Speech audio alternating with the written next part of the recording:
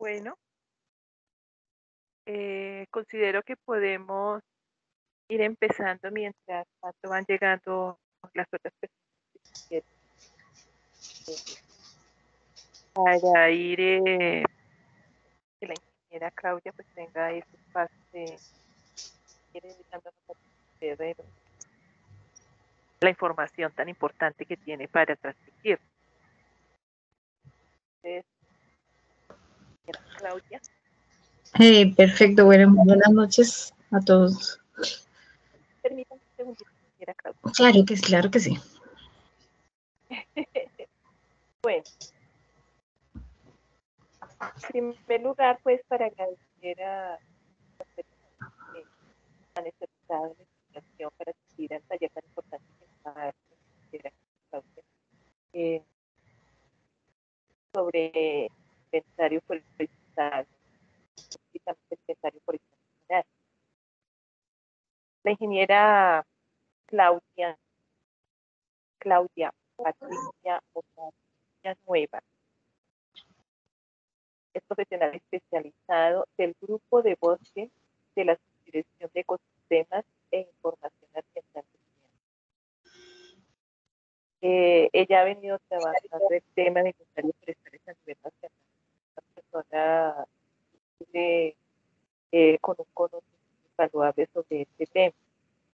Ella es ingeniera forestal, especialista en gestión ambiental urbana, diplomada en estadística, tiene una experiencia de 22 años en el IDEAN, desempeñando, entre otros, los cargos de coordinadora del grupo de votos, coordinadora de cambio global y ordenamiento ambiental del territorio. Igualmente, eh, entre su experiencia técnica tiene la coordinación técnica del inventario forestal nacional, especialmente periodo 2008-2014, luego 2018-2021. Es coautora y editora de diversos documentos, entre los que se destacan el diseño metodológico y conceptual del Inventario Forestal Nacional 2009, marco rector de la implementación del Inventario Forestal Nacional y complementarias. Entonces, ingeniera, la verdad es que es muy agradable eh, que usted esté con nosotros. Para todos, mi nombre es Cristiana López. Eh, a todos ustedes eh, eh, lleguen por primera vez a esta reunión. Soy ingeniera forestal y presidenta de la Directiva Nacional de la Asociación Colombiana de Ingenieros Forestales.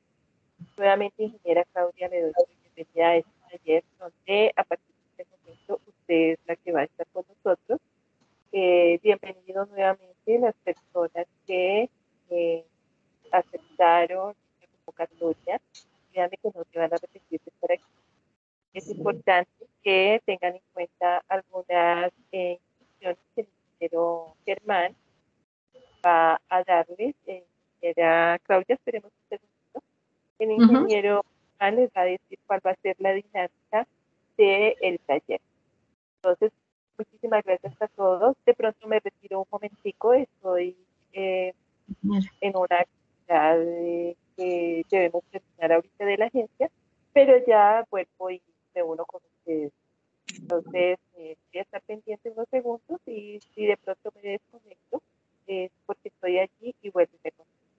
Ingeniero Germán. Gracias, muy amable, ingeniera. Ingeniera Claudia, bienvenida, muchas gracias. Le agradecemos enormemente que nos comparta esta interesante conferencia que nos va a brindar hoy toda la información acerca de, del tema del inventario forestal nacional.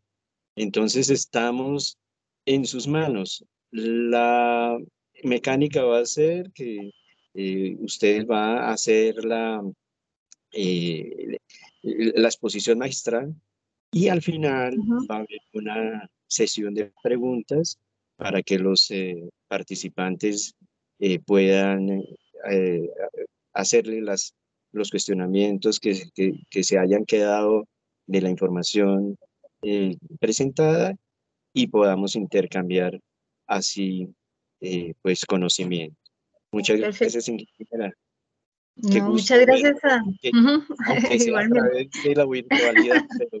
sí, no, muchas gracias a ustedes por la invitación de, de, nombre de la directora general del Instituto de Hidrología, Meteorología y Estudios Ambientales, IDEAN, de la subdirectora de Ecosistemas e Información Ambiental, pues les queremos agradecer a la Asociación Colombiana de Ingenieros Forestales por la invitación y pues por poder compartir parte del ejercicio que, que es importantísimo para el país y sobre todo para nuestra profesión de ingenieros forestales. Entonces, muchas gracias por la invitación y espero que, que les sea de su agrado la, la, ponencia. Muy amables. Entonces, voy a también a, empezar la presentación y voy a apagar mi cámara pues para efectos de que no se haga tan, tan pesada. Por favor, me confirmen entonces si están viendo ahí.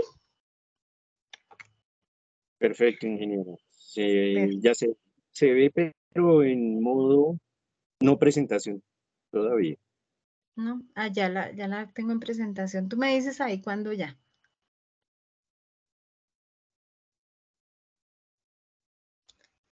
Bueno. Sí, ahí la, ah. Ahora sí. Sí, ya. Dice el inventario forestal nacional como herramienta clave para el monitoreo de los bosques en Colombia. Perfecto, sí. Como lo, expresaba anteriormente, pues eh, eh, el desarrollo del inventario forestal nacional es un trabajo liderado específicamente por el Instituto de Hidrología, Meteorología y Estudios Ambientales y está en cabeza de la Subdirección de Ecosistemas e Información Ambiental. Y en la tarde de hoy, pues les voy a un poco a presentar el contexto de cómo lo hemos venido desarrollando, en qué vamos y cuáles son también las perspectivas para lo que viene en el desarrollo del proceso de inventario forestal nacional. Como lo dice la diapositiva, es una eh, herramienta clave para el monitoreo de los bosques y así lo queremos presentar en el instituto. Entonces, a lo largo de, la presentación vamos a ver un poco el porqué de, digamos, de, de esta diapositiva y por qué lo presentamos como una herramienta para la toma de decisiones tanto a nivel nacional, regional como local. Pues empecemos un poco como con, con ese contexto. Eh, de acuerdo con el Sistema de Información de Biodiversidad, ahí hay un ruido, eh, que es del Instituto Alexander von Humboldt, se dice que nuestro país ocupa uno de los primeros lugares en biodiversidad, por eso es considerado como un país megadiverso. En los registros del CID Colombia se habla de que cada de por 10 especies que existen en el planeta, una especie existe en nuestro país. Entonces, esto habla de, de la alta diversidad que tenemos en Colombia. En ese contexto de las cifras que nos muestra el Sistema de Información de Biodiversidad, se señala que en aves, en orquídeas y en mamíferos ocupamos más o menos el primer lugar en esa diversidad, más o menos 1.865 registros de especies. En el tema de plantas, que es quizá eh, eh, pues nuestro quehacer, ocupamos el segundo lugar después de Brasil y pues considerando la superficie o la extensión del país, pues esto representa una alta diversidad. En el tema de anfibios ocupamos un primer lugar, en reptiles el tercer lugar y en mamíferos, según esas mismas cifras, ocupamos un quinto lugar. Sin embargo, eh, el mismo CID Colombia llama la atención sobre los temas de la desaparición de especies en el territorio colombiano. Entre esas especies se señalan a dos especies muy importantes como son el Quercus humboldt, el roble colombiano, y el cedro americano que están en esa categoría. Parte de esto es lo que pretendemos con el inventario forestal, de saber realmente qué tenemos en el territorio y cómo lo podemos llegar a valorar. Adicionalmente, eh, pues en nuestro país hay muchas especies endémicas y esto prácticamente es lo que nos lleva también desde el inventario forestal a desarrollar este ejercicio para poder entender qué tenemos en el territorio, nuestras especies eh, forestales, cómo están esas especies y cómo tenemos que manejarlas tanto en el contexto nacional, regional como local. Dentro de la política de bosques y la misma constitución política de Colombia, se habla que es deber del Estado realizar la planificación de los recursos eh, forestales y de los recursos naturales en general. Y se habla en esa política de bosques que eh, es muy importante con su conservación para la precisamente la conservación de esa diversidad biológica. Si no existieran los bosques, pues de toda esa diversidad que les estamos hablando en, las diapositivas anteriores, pues no podríamos decir que tendríamos esa misma megadiversidad. Por eso, la política de bosques reconoce a los bosques como un recurso estratégico de la nación y de allí que se deriva también una serie, digamos, de normatividad que nos señala que tenemos que hacer una conservación, un uso adecuado de ese recurso. Entonces, esos principios constitucionales que marcan un quehacer y una legislación en materia ambiental, sobre todo derivado de la ley 99 del 93, donde crea al IDEAN y que poco nos conocen, nosotros tenemos una función misional como es la de realizar el monitoreo de los bosques en Colombia. Casi que todo el mundo nos conoce por el clima, por el agua, pero pocos saben que manejamos todo el tema de bosque. Y no es solamente el tema de la deforestación, sino que también tenemos que hacer un análisis de la oferta, el estado, el uso y cómo se, digamos, hay una dinámica en esos bosques asociados.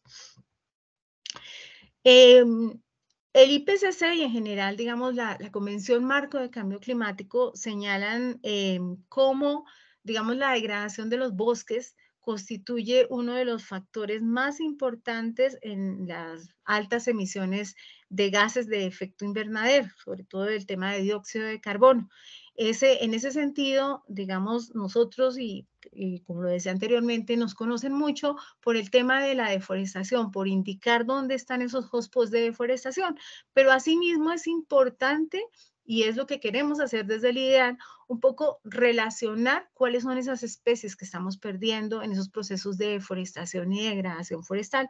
Por eso, digamos, más allá de, simplemente reconocer que tenemos un contenido de carbono acumulado en esos bosques, queremos saber cuál es la diversidad asociada a todo ese recurso forestal para poder valorarlo para poder valorar el conocimiento. El que no sabe lo que tiene, no sabe cómo lo puede valorar ni sabe cómo poder tomar unas decisiones adecuadas. Y ese es el soporte básico de, digamos, de la constitución del inventario forestal en Colombia. De acuerdo con el sistema de monitoreo de bosques de carbono, el último reporte que acabamos de sacar este año, todavía tenemos un 52% del territorio emergido con bosque natural. Ese territorio sobre todo está en la región amazónica y más o menos eh, se constituyen 59.3 millones de hectáreas son bosques naturales. ¿Cuántos de esos están todavía en estado primario? Pues es lo que queremos conocer. ¿Cuántos están degradados?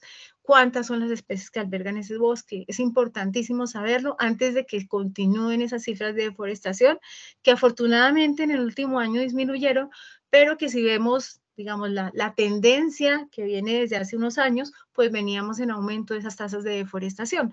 Entender entonces cómo es esa dinámica es importantísimo para el conocimiento y, digamos, el monitoreo del recurso.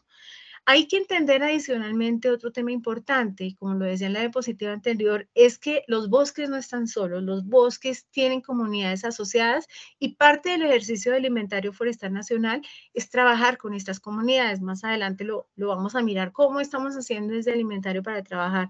Tenemos que reconocer en ese territorio que tenemos comunidades indígenas, que tenemos comunidades afro, que tenemos campesinos que están en ese territorio, colonos, que tenemos áreas protegidas del sistema de parques y que tenemos zonas baldías. Y ese contexto territorial pues nos forma también una particularidad especial para poder desarrollar un ejercicio de esta envergadura en el territorio. Otro de los factores importantes que, que, nos lleva a desarrollar el ejercicio del inventario forestal es que muchos no saben, pero el IDEAN es el punto focal de todos los eh, informes de país. Entonces nosotros desde el instituto elaboramos los informes para el inventario de gases de efecto invernadero, para la evaluación de recursos forestales mundiales, tenemos que hacer los reportes bianuales de inventario de gases de efecto invernadero y las comunicaciones nacionales. Y en ese sentido, pues es necesario tener unos mejores datos que para poder reportar lo que está pasando con los bosques en Colombia. Entonces, los reportes periódicos de avances en esa implementación mundial, pues los hacemos desde el IDEAN. Es importante, entonces, uno de los módulos que más contribuye a ese tema de cambio climático es el módulo de eh, agricultura, silvicultura y cambio de uso de la tierra, donde están implícito la degradación y la deforestación de los bosques y también el, el uso de esos mismos bosques. Entonces, por eso digamos, desde el instituto hemos venido desarrollando diferentes herramientas para poder entender qué es lo que está sucediendo con los bosques. Adicionalmente, como lo decía, no es solamente el tema de carbono asociado a ellos, sino es también todo el contexto de diversidad biológica que tenemos que entender para poder hacer estos mejores reportes. Entonces, tener unos datos adecuados con calidad es importantísimo para que todos los reportes de país estén consistentes y sean digamos, relevantes en ese contexto de, lo que nos piden en esa demanda de datos forestales nacionales. Eh, dentro de todo ese trabajo y, lo que ha venido diciendo en el marco de la conferencia, sobre todo la conferencia de, las partes en París, se, eh, o más bien se nos hace una, un llamado a construir un sistema de monitoreo forestal entonces, dentro de ese sistema de monitoreo forestal, el IPCC y la Convención Marco de Cambio Climático nos llama a tener desde el país una necesidad de, digamos que desde hace mucho tiempo venían, venían llamándose eh, la necesidad de hacer un inventario de los recursos forestales o los recursos boscosos en Colombia. En ese sentido, el mismo IPCC reconoce a los inventarios como una herramienta clave. ¿Por qué los inventarios son una herramienta clave?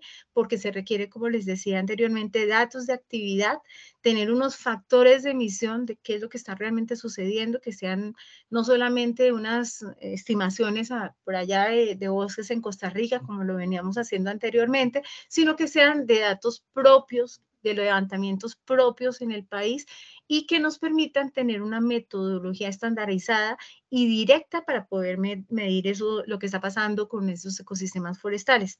Los inventarios forestales entonces van a recopilar esos datos primarios que son útiles para la toma de decisiones sobre un manejo forestal, sobre una administración del recurso. Muchas de las cosas que actualmente están pasando en el país es que no tenemos datos actualizados, por ejemplo, para poder realizar las vedas de alguna especie se están dando cupos de aprovechamiento forestal sin tener inventarios de base que nos permitan determinar cuáles son esas especies sobre las cuales tenemos que tener una mm, salvaguarda para que no las vayamos a, presionar demasiado. Y eso es lo que nos va a permitir el inventario forestal nacional. Entonces, básicamente, es una herramienta de carácter directo de análisis que nos va a permitir eh, cuantificar sobre todo ese almacenamiento de carbono y eso es lo que nos releva más en el contexto internacional. De allí que, digamos, uno de, los, de nuestros aliados claves hayan sido todos esos mm, em, países que quieren o que pertenecen a, todo el contexto de, cambio climático y que quieren saber qué es lo que realmente tenemos en el territorio. Entonces han sido casi que con ellos de la mano que hemos construido como parte de la cooperación internacional esos datos eh, para poder realizar y esos recursos económicos necesarios para poder implementar el inventario forestal en el, en el territorio. Como les decía anteriormente, bajo ese contexto, el IDEAN, eh, más o menos desde el año 2007, eh, eh, digamos, sacó lo que se llama el programa de monitoreo y seguimiento de los bosques. Ese programa de monitoreo compila alrededor de 27 operaciones estadísticas de diferente tipo. Entre esas estaba una de las más importantes, precisamente el Inventario Forestal Nacional, pero existen otras tres herramientas que son súper importantes, que son el Sistema Nacional de Información Forestal y el Sistema de Monitoreo de Bosques y Carbón, que es el más conocido por el tema de los datos de deforestación. Sin embargo, estos tres sistemas en el contexto internacional, sobre todo en el Acuerdo de París, se relevan en, la, en el marco de que son los tres que van a permitir obtener datos claves para tener todo el conocimiento sobre el monitoreo del recurso en, cada uno de los países. Y en el IDEAN, estas tres herramientas, estos tres sistemas, constituyen la base para poder consolidar toda esa, esa información.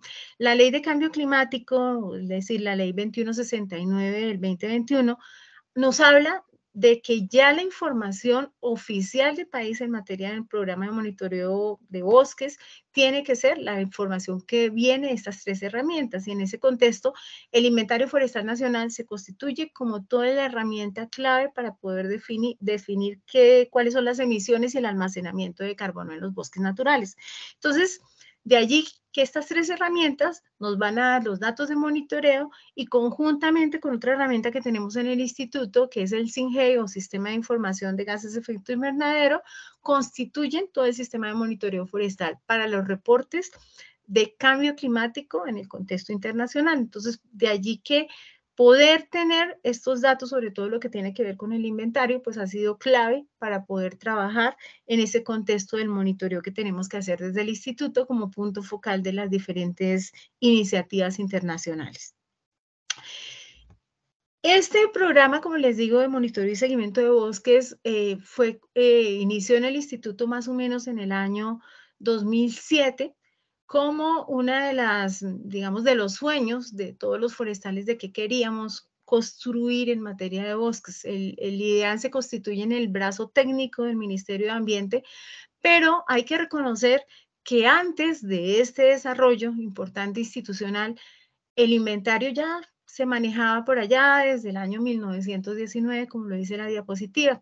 En ese año eh, se había expedido la ley 119 de 1919, lo que se llamó el Código Fiscal, y ya desde allí se hablaba de que el país tenía que abordar el trabajo de realizar un inventario forestal nacional. Sin embargo, pues nunca pasó nada y, y, como les digo, para poder desarrollar un ejercicio de esta envergadura, pues hay que tener una cantidad de elementos. Esta se aplazó y más o menos se volvió a retomar ese tema en el año 1959, que crea otro hito importante en materia forestal, como es la promulgación de la ley segunda del 59, con la cual se sacan las siete zonas de reserva forestal en Colombia. En esta ley también se habla de una serie de definiciones como lo que es bosque público, bosque de interés mm, económico, se habla de, esa, de esos temas de ordenación y se vuelve a reconocer el tema de realizar inventarios para poder tener una ordenación. Em, esta ley, pues, a pesar de que todavía está vigente, pues ha sido, como lo saben, objeto de múltiples sustracciones en las siete zonas de reserva forestal que están implícitas y pues desde allí no se volvió como a tomar el tema.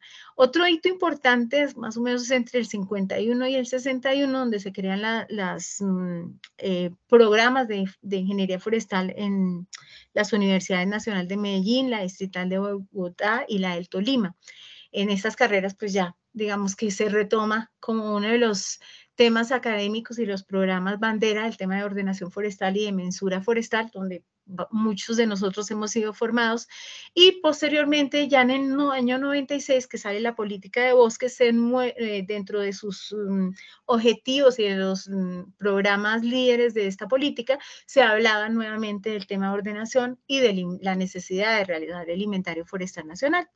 Sin embargo, allí como que un quiebre no se volvió a retomar el tema hasta que se volvió a plantear el Plan Nacional de Desarrollo Forestal en el año 2002, donde ya quedó una línea, una línea con, digamos que ha venido siendo monitoreada desde el Ministerio de Ambiente y quedó específicamente el tema de que de alguna organización eh, institucional debería liderar el tema del, del inventario forestal nacional.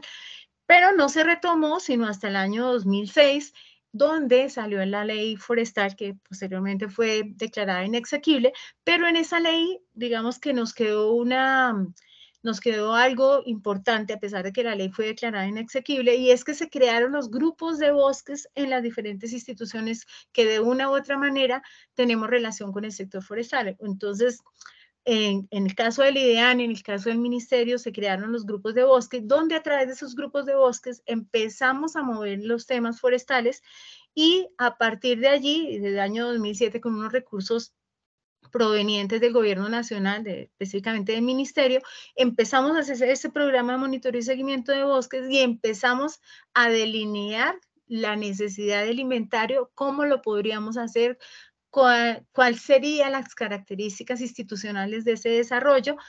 que se llevan a cabo, digamos, más o menos entre el año 2007, 2008, 2009, conjuntamente con un hito importante que es el, apoyo del Departamento Administrativo Nacional de Estadística. Casi que todo el mundo cree que iniciamos el Inventario Forestal Nacional en el año 2015, pero no, realmente nosotros iniciamos el desarrollo del proceso del Inventario Forestal Nacional en el año 2007.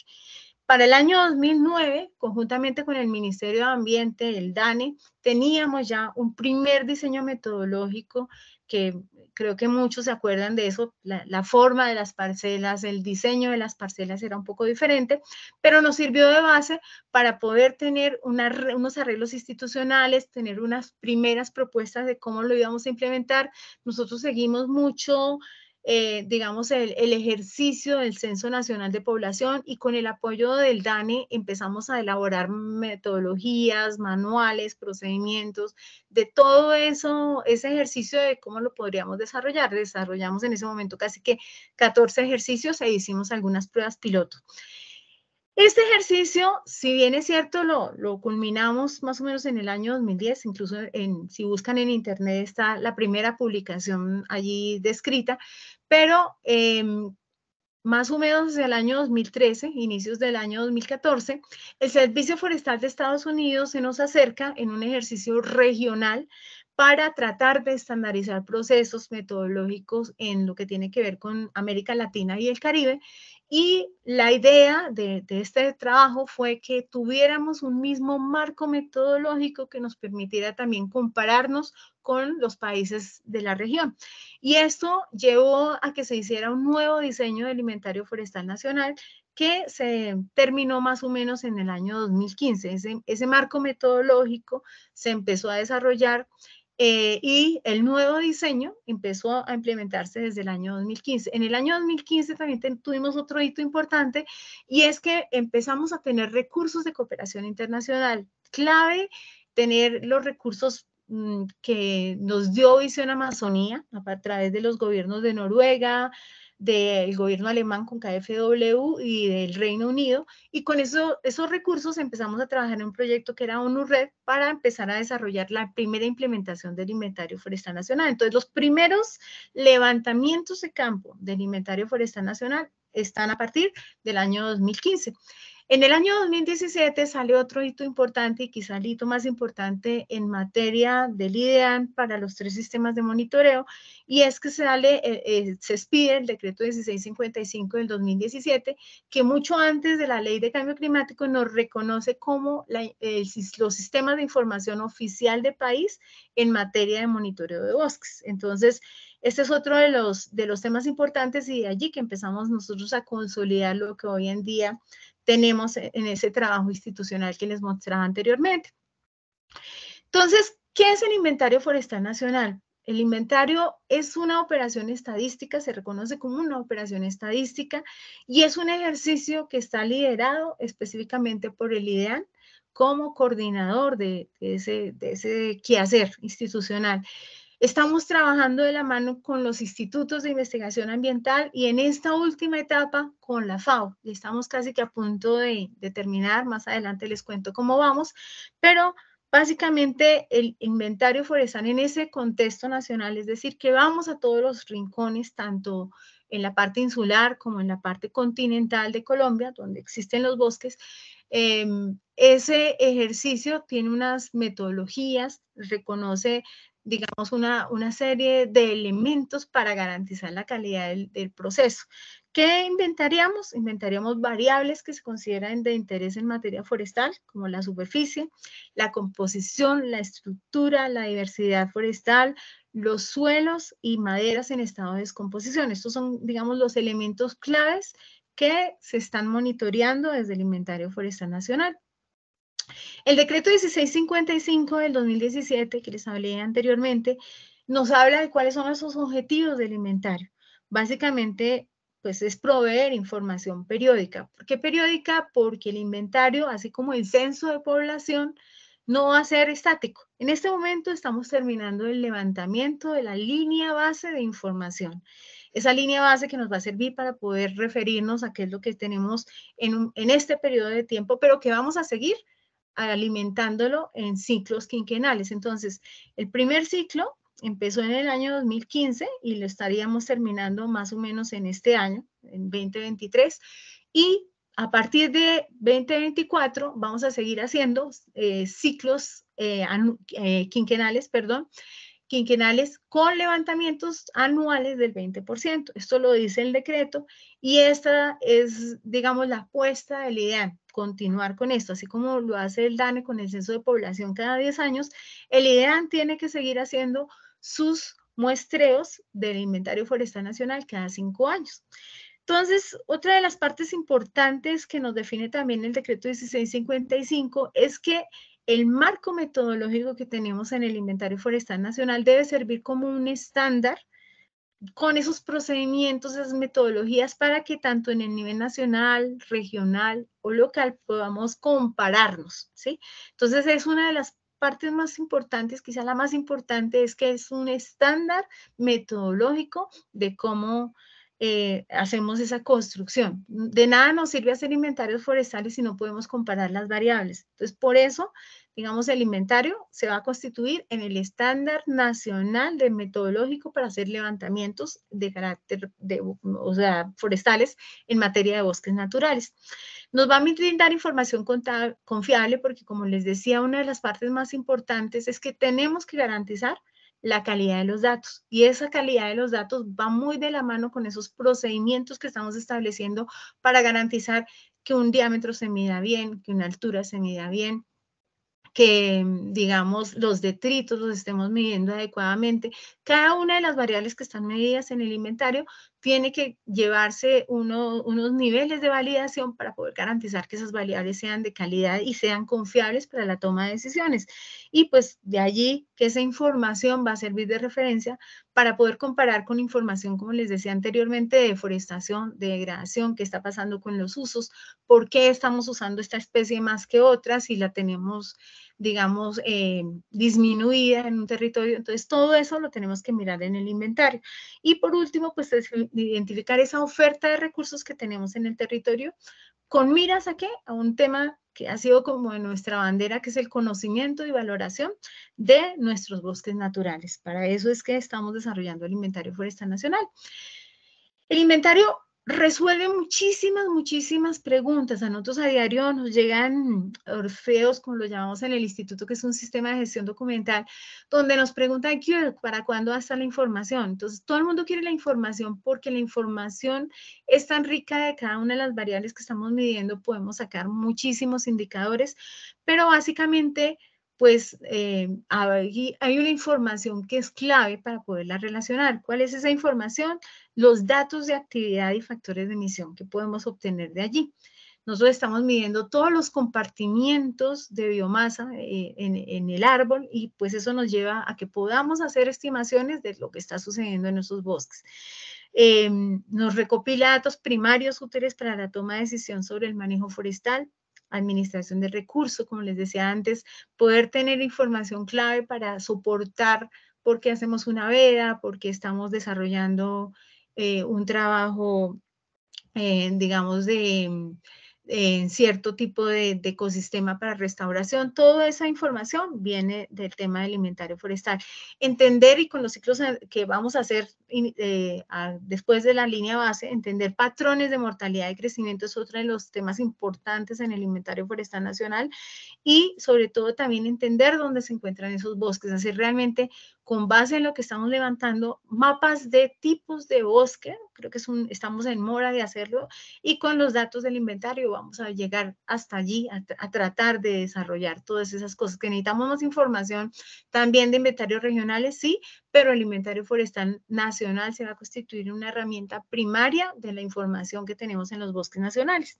Y pues de allí podemos derivar una cantidad de información asociada al tema de recurso hídrico, que también lo tenemos en, en el ideal, de cómo estamos en materia de suelos en esa degradación. Recuerden un poco que más adelante lo vamos a ver, en el inventario también tomamos análisis de suelos y esa información la podemos asociar también con, con eh, sitios eh, que están degradados y con todos esos análisis de, sitio para diferentes especies que podemos, digamos, derivar de, los, de la información que estamos levantando. ¿Cómo se diseñó el inventario forestal nacional? Como les decía, pues eso ha sido un trabajo largo, exhaustivo. Eh, como lo decían los compañeros ingenieros en la presentación, yo llevo más de 22 años en el instituto y de esos 22 años dentro del grupo de bosque específicamente llevo ya 10 donde empezamos a mirar, bueno, ¿cómo vamos a hacer este trabajo? Como les decía, se hizo de la mano con, con el DANE, pero para poder realizarlo empezamos a recopilar toda esa serie de inventarios a lo largo del país. Alcanzamos a recopilar cerca de 4.000 inventarios forestales. La mayoría de esos inventarios pues han sido no con miras a, a caracterización florística, sino a levantamientos de información para aprovechamiento forestal. Y eso nos llevó también a mirar que había muchísima dispersión en, los temas de tamaños de parcelas, en los temas de las formas de las parcelas, en los temas de cuál es la variable tipo que se requería, eh, las características de los mismos inventarios. Ustedes saben que hay inventarios de carácter detallado, de esos eh, inventarios de semidetallados, inventarios exploratorios. Todos esos inventarios los recogimos en un primer ejercicio ese primer ejercicio nos llevó a hacer una cantidad de modelación para poder, con base eh, en, esos inventarios, empezar a, tratar de modelar cuáles serían esas, esos tamaños óptimos de parcela, la, de la mano con el servicio forestal y con una herramienta que ellos tienen que se llama FRAI, empezamos a hacer diferentes escenarios de cuál sería la, la estrategia, la mejor forma de la parcela. Y como les digo, teniendo en cuenta también lo que ellos habían hecho eh, en Estados Unidos y en otros inventarios forestales de la región de América Latina, como de Brasil, de México, pudimos empezar a hacer ese diseño metodológico del inventario forestal nacional. Uno de los temas claves cuando se hace un ejercicio de estos es definir hasta dónde voy a llegar. Cuando empezamos a hacer el ejercicio alimentario forestal, queríamos medir de todo, hasta fauna. Por eso en algún momento se llamó inventario forestal integral. Entonces, eh, habían como 500 variables y esto también nos sirvió un poco la experiencia del DANE. El DANE que nos decía, el DANE nos decía, Ustedes deben medir una variable para qué. Recuerden que cada variable cuesta. Entonces ahí empezamos de esas 500 variables que teníamos inicialmente a bajar.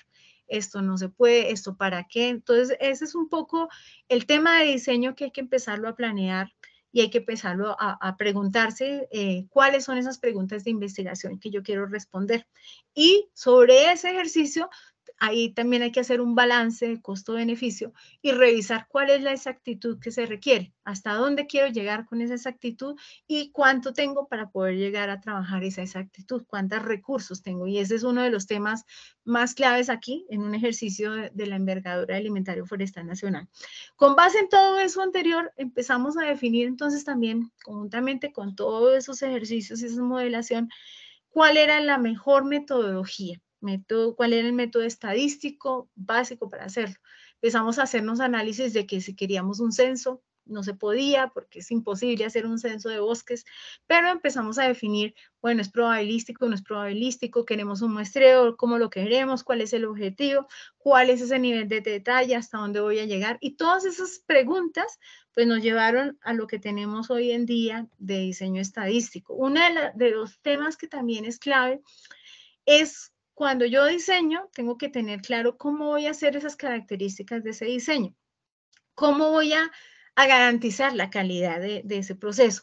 Y en el tema de calidad viene otro, otro tema clave y otro hito que también surge acá, que es que en el año 2017 sale la ley 1753 o el Plan Nacional de Desarrollo del Gobierno de Santos, donde se crea también el Sistema Nacional de Estadísticas. Ese Sistema Nacional de Estadísticas, que es liderado, coordinado por el Departamento Administrativo, nos da una serie de qué hacer en todo el tema, digamos, de calidad. Y allí hay unas normas, sobre todo lo que tiene que ver con la norma NTCPMI, que nos hablan de las directrices de monitoreo eh, forestal, eh, perdón, las directrices de monitoreo forestal y las normas estadísticas de calidad. Y allí se recogen una serie también de principios que están en la Convención Marco de Cambio Climático que deben cumplir todos los temas eh, que queremos trabajar en materia de monitoreo forestal.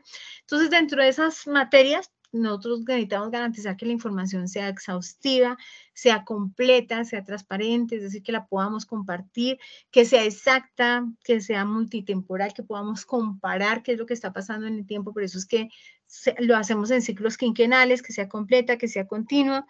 Eh, y que sea coherente. Esas son las variables básicas que están también dentro de los principios de la Convención Marco de Cambio Climático y que se tienen que garantizar también aquí desde la Operación Estadística del Inventario Forestal Nacional. ¿Cuáles fueron esos componentes entonces del diseño del inventario? Los componentes del, diseño, eh, pues son, digamos, esas cosas claves que teníamos que tener sí o sí antes de iniciar el proceso. Entonces, para poder, como les decía, para, después de que hicimos toda esa recopilación de inventarios, todos esos análisis de qué queríamos, para qué lo queríamos, cómo lo íbamos a hacer, empezamos a definir unos componentes que eran claves para poder hacer el, ejercicio. Uno de ellos es el marco geoestadístico. El marco geoestadístico eh, parte del ejercicio que hace también el DANE en ese marco geoestadístico nacional, que es donde están ubicados los departamentos, los municipios, las cabeceras municipales, bueno, toda esa, esa divipola como la conocemos a veces, pero teníamos que hacer un marco propio del inventario forestal nacional. Ese marco, entonces, bueno, más adelante les explico un poco cómo lo construimos, pero ese marco nos lleva a ubicar dónde están esos bosques y cómo voy a acceder yo a esos bosques. Y para eso, pues otro de, las, de los temas principales es definir sobre ese marco geoestadístico el tema del diseño estadístico que voy a implementar. Estos dos elementos, el diseño estadístico y el marco geoestadístico, son la base fundamental de todo el ejercicio del inventario forestal nacional, porque es donde yo consolido el tema primero de dónde voy a ubicar esos conglomerados que voy a levantar en el territorio y segundo, que me garantice que voy a tener una calidad estadística y una confiabilidad para poder hacer unas estimaciones en, en esos conglomerados que son los que voy a levantar. Por supuesto, necesito unos instrumentos de investigación y eso fue otro de los ejercicios que hicimos, que son básicamente los manuales de los que les hablaba, los protocolos, las guías, los formatos, toda esa serie de ejercicios que tengo que tener para poder hacer un desarrollo de esto. Tengo que mirar dónde voy a implementar esos, esos análisis cuando ya los, los tenga, esos datos cuando los tenga y ahí hicimos todo un diseño de, de un sistema de información. Actualmente nosotros trabajamos con el Open Forest, que es un diseño de captura de datos eh, que fue diseñado por la FAO y eh, de, digamos, también definir cuáles son esas salidas de información y cómo vamos a publicar los resultados. Eso fue algo importantísimo. Y otro de los temas, aparte de todo este ejercicio, digamos, técnico, es también, bueno, pensar cómo voy a hacer esa estrategia institucional quiénes van a participar, cómo van a participar, con cuánto cuento yo en recursos, en tanto técnicos como humanos, para poder hacer esa estrategia institucional y sobre todo financiera que requiere todo este ejercicio logístico. Entonces, dentro de, digamos, ese, ese trabajo que se ha hecho, los principales elementos que se definieron dentro de ese diseño geoestadístico del inventario forestal nacional es que Primero, pues no podíamos llegar a tener un censo completo, como les decía. Entonces definimos un muestreo probabilístico, aleatorio simple, por conglomerados, pues estratificado, y está definido como una unidad de muestreo los conglomerados, que básicamente son cinco subparcelas distribuidas en cruz, que son las que donde vamos realmente a capturar la información. Este es nuestro, nuestro parámetro de control del inventario forestal nacional que en cada levantamiento tenemos que siempre garantizar que se cumpla este mismo proceso de diseño. Si no, digamos, si no se cumple el diseño estadístico, no estamos eh, garantizando que las estimaciones sean confiables. Y eso es básicamente lo que se trabaja en el inventario.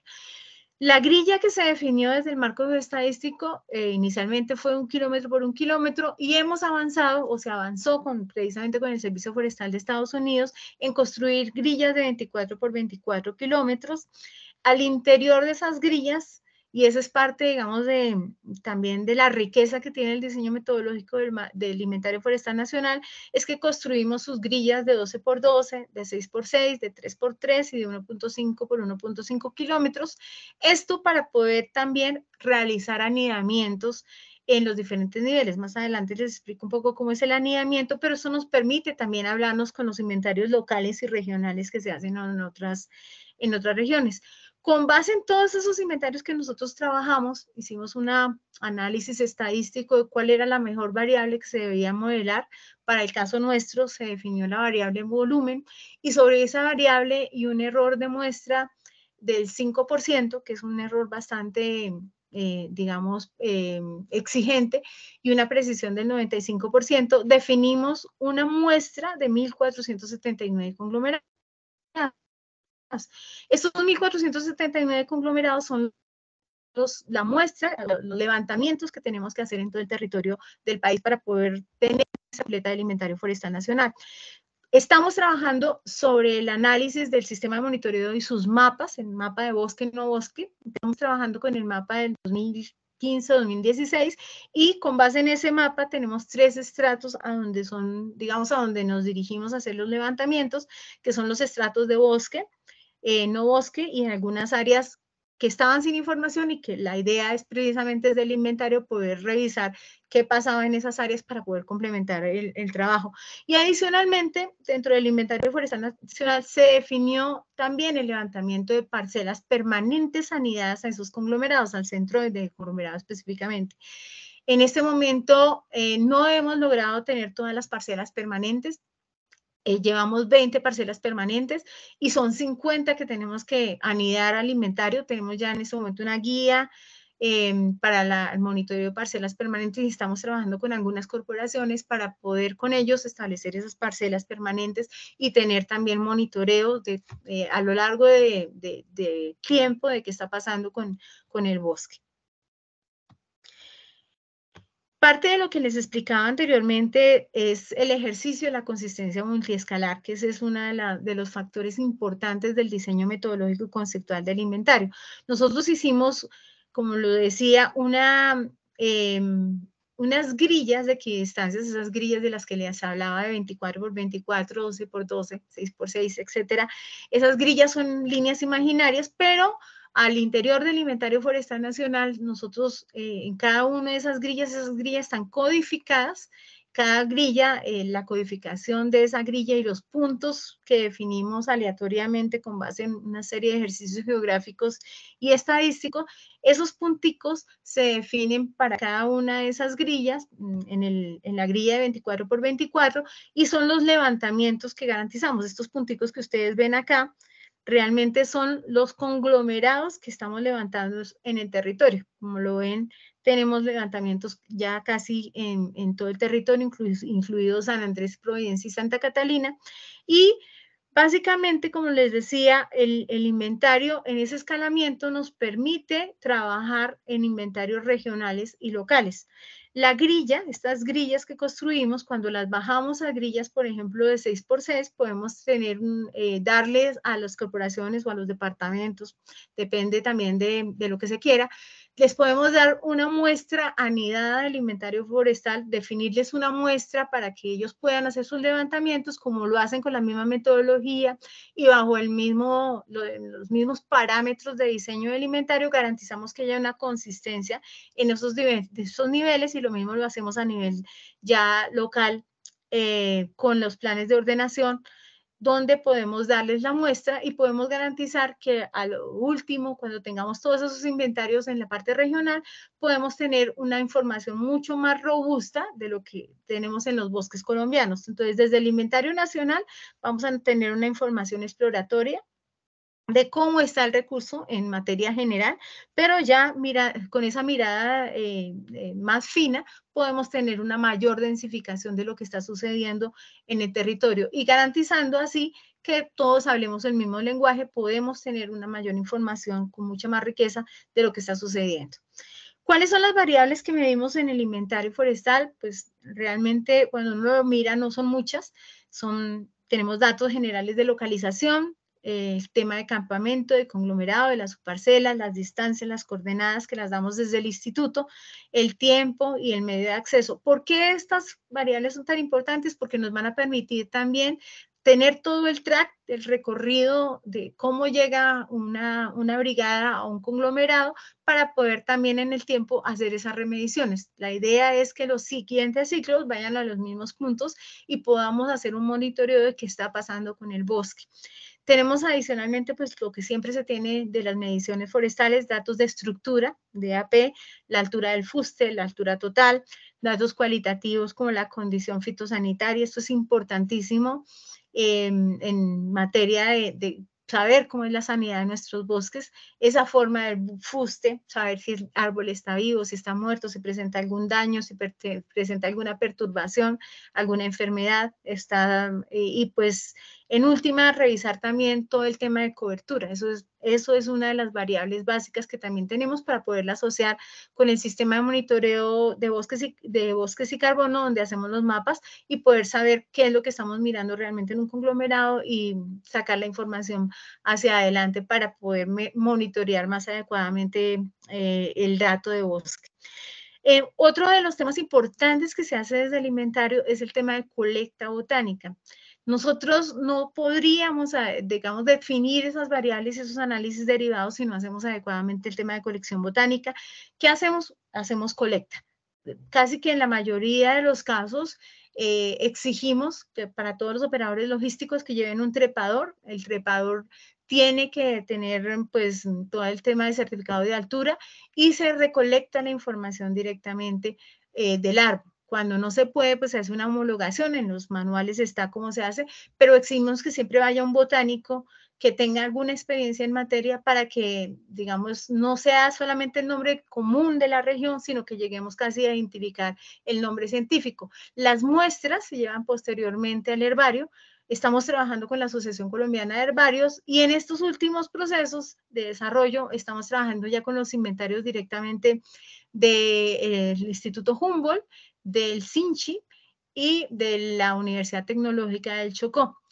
Actualmente también estamos haciendo el último desarrollo para el tema de Andes y Caribe con la Universidad Distrital y esto pues, es un agrado tener el alma mate para que también ayude a identificar esas muestras y ha sido pues todo también un trabajo eh, arduo en el tema de recolección. Estamos trabajando para tener también una un herbario, mm, digamos, digital y poder ofrecerle al país esa, esa, colección botánica de manera digital de todo lo que estamos recolectando.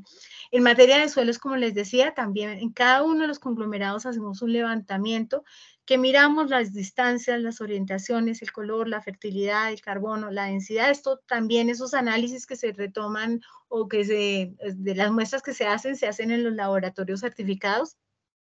Y para eso pues estamos trabajando con la Universidad de mm, Nacional, sede Palmira, con el SENA, que hace también análisis de detritos y otra serie, digamos, de, laboratorios que están certificados en la materia. Y por último, el tema de detritos de madera. Detritos de madera es un tema importantísimo para todo el tema de los contenidos de carbono. Entonces, allí miramos el tipo de la pieza, mm, para eso llevamos incluso motosierras, se hacen cortes allá, que es una de las cosas, pues, eh, digamos, arduas en el trabajo de las brigadas, porque les toca también hacer caminatas muy largas y llevar todo este tipo de material para poder recolectar el, trabajo. Con base en todo esto, pues nosotros sacamos los indicadores básicos eh, que todos conocemos como indicadores florísticos, indicadores gasométricos, indicadores de estructura ecológica del bosque, eh, que esos son básicos para poder definir cómo está ese recurso, cuáles son esas especies amenazadas en vía de extinción de más, y los, por supuesto, todos los temas de carbono, biomasa asociados en, los diferentes compartimientos aéreos, detritos de madera y suelos.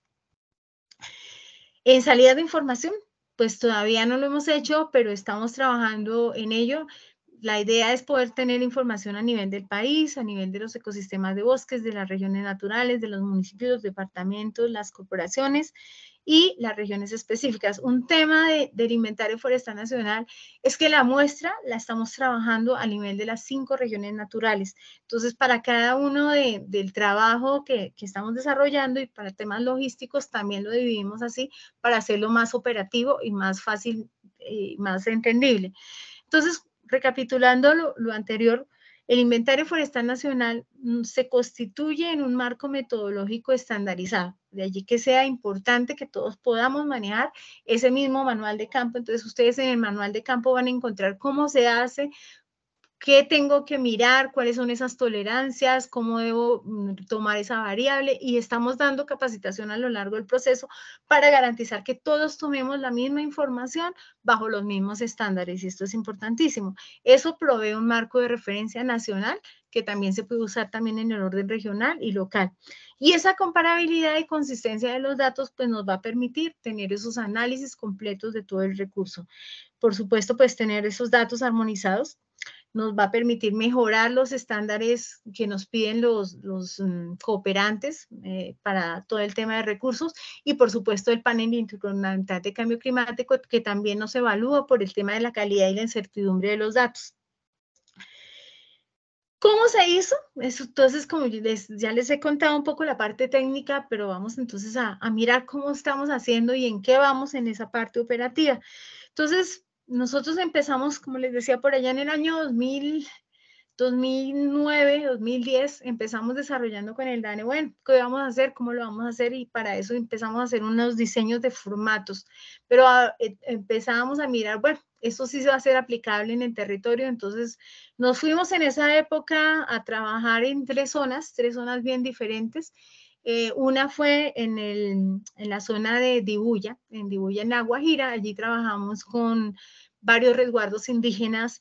Eso también nos llevó a, a, revisar cómo era el tema de comunidades. Quizá a veces uno se concentra mucho en lo técnico, pero como les decía, los bosques no están solos y teníamos que trabajar con esas comunidades. Entonces fue, fue un reto y de allí, digamos que empezamos a mirar, bueno, ¿qué tenemos que hacer? Había que que sentarse a, hablar con los resguardos indígenas em, para poder entrar al bosque. Ellos nos pedían hacer unos rezos antes de, de, iniciar y de hecho pues todavía lo hacemos con muchas de las brigadas. Entonces es una idiosincrasia diferente. Después nos fuimos al Pacífico, trabajamos con el Instituto de Investigaciones Ambientales del Pacífico, el IAP, que nos facilitó el trabajo en la estación de Tutunendo, que ya no existe. Con ellos trabajamos en esas comunidades locales de Tutunendo. Ellos fueron parte de los coinvestigadores de campo y fue otra idiosincrasia, otro trabajo también de pensar cómo lo vamos a hacer con esas comunidades negras que son digamos, otro, otro tema importantísimo. Después nos fuimos a la zona de amortiguación de, del Parque Nacional de Chingaza y ahí trabajamos con colonos, muchas personas que están alrededor del parque, y empezamos a mirar que también es otra dinámica de campesinos. De esto que surgió una guía de socialización del inventario forestal nacional, que hemos venido puliendo con los institutos de investigación y con todo ese trabajo con las comunidades. Esa guía pues nos ha permitido también saber cómo nos acercamos, por qué nos tenemos que acercar, cuándo nos tenemos que acercar, qué es lo que vamos a ver con esas comunidades cómo hay que hacer para pedirles los permisos. Ellos son muy quisquillosos y siempre nos lo han pedido y casi que todo el mundo dice, ah, no, pues que los datos tienen que ser libres, pero resulta que las comunidades también en su idiosincrasia no quieren que se les divulguen los datos. Entonces tenemos que ser cautos en el momento de qué es lo que se va a divulgar también de esas comunidades. Recordemos aquí que también nosotros estamos siguiendo a zonas inexploradas del territorio colombiano y en esa parte también vamos a encontrar muchos relictos de bosque que ya no existen. Entonces, dejar datos también abiertos, pues para todo ese territorio es un reto, porque hay muchas malas, malas intenciones también en el territorio. Entonces, hay que revisar todo eso para poder ejercer todo este ejercicio que estábamos trabajando, revisar.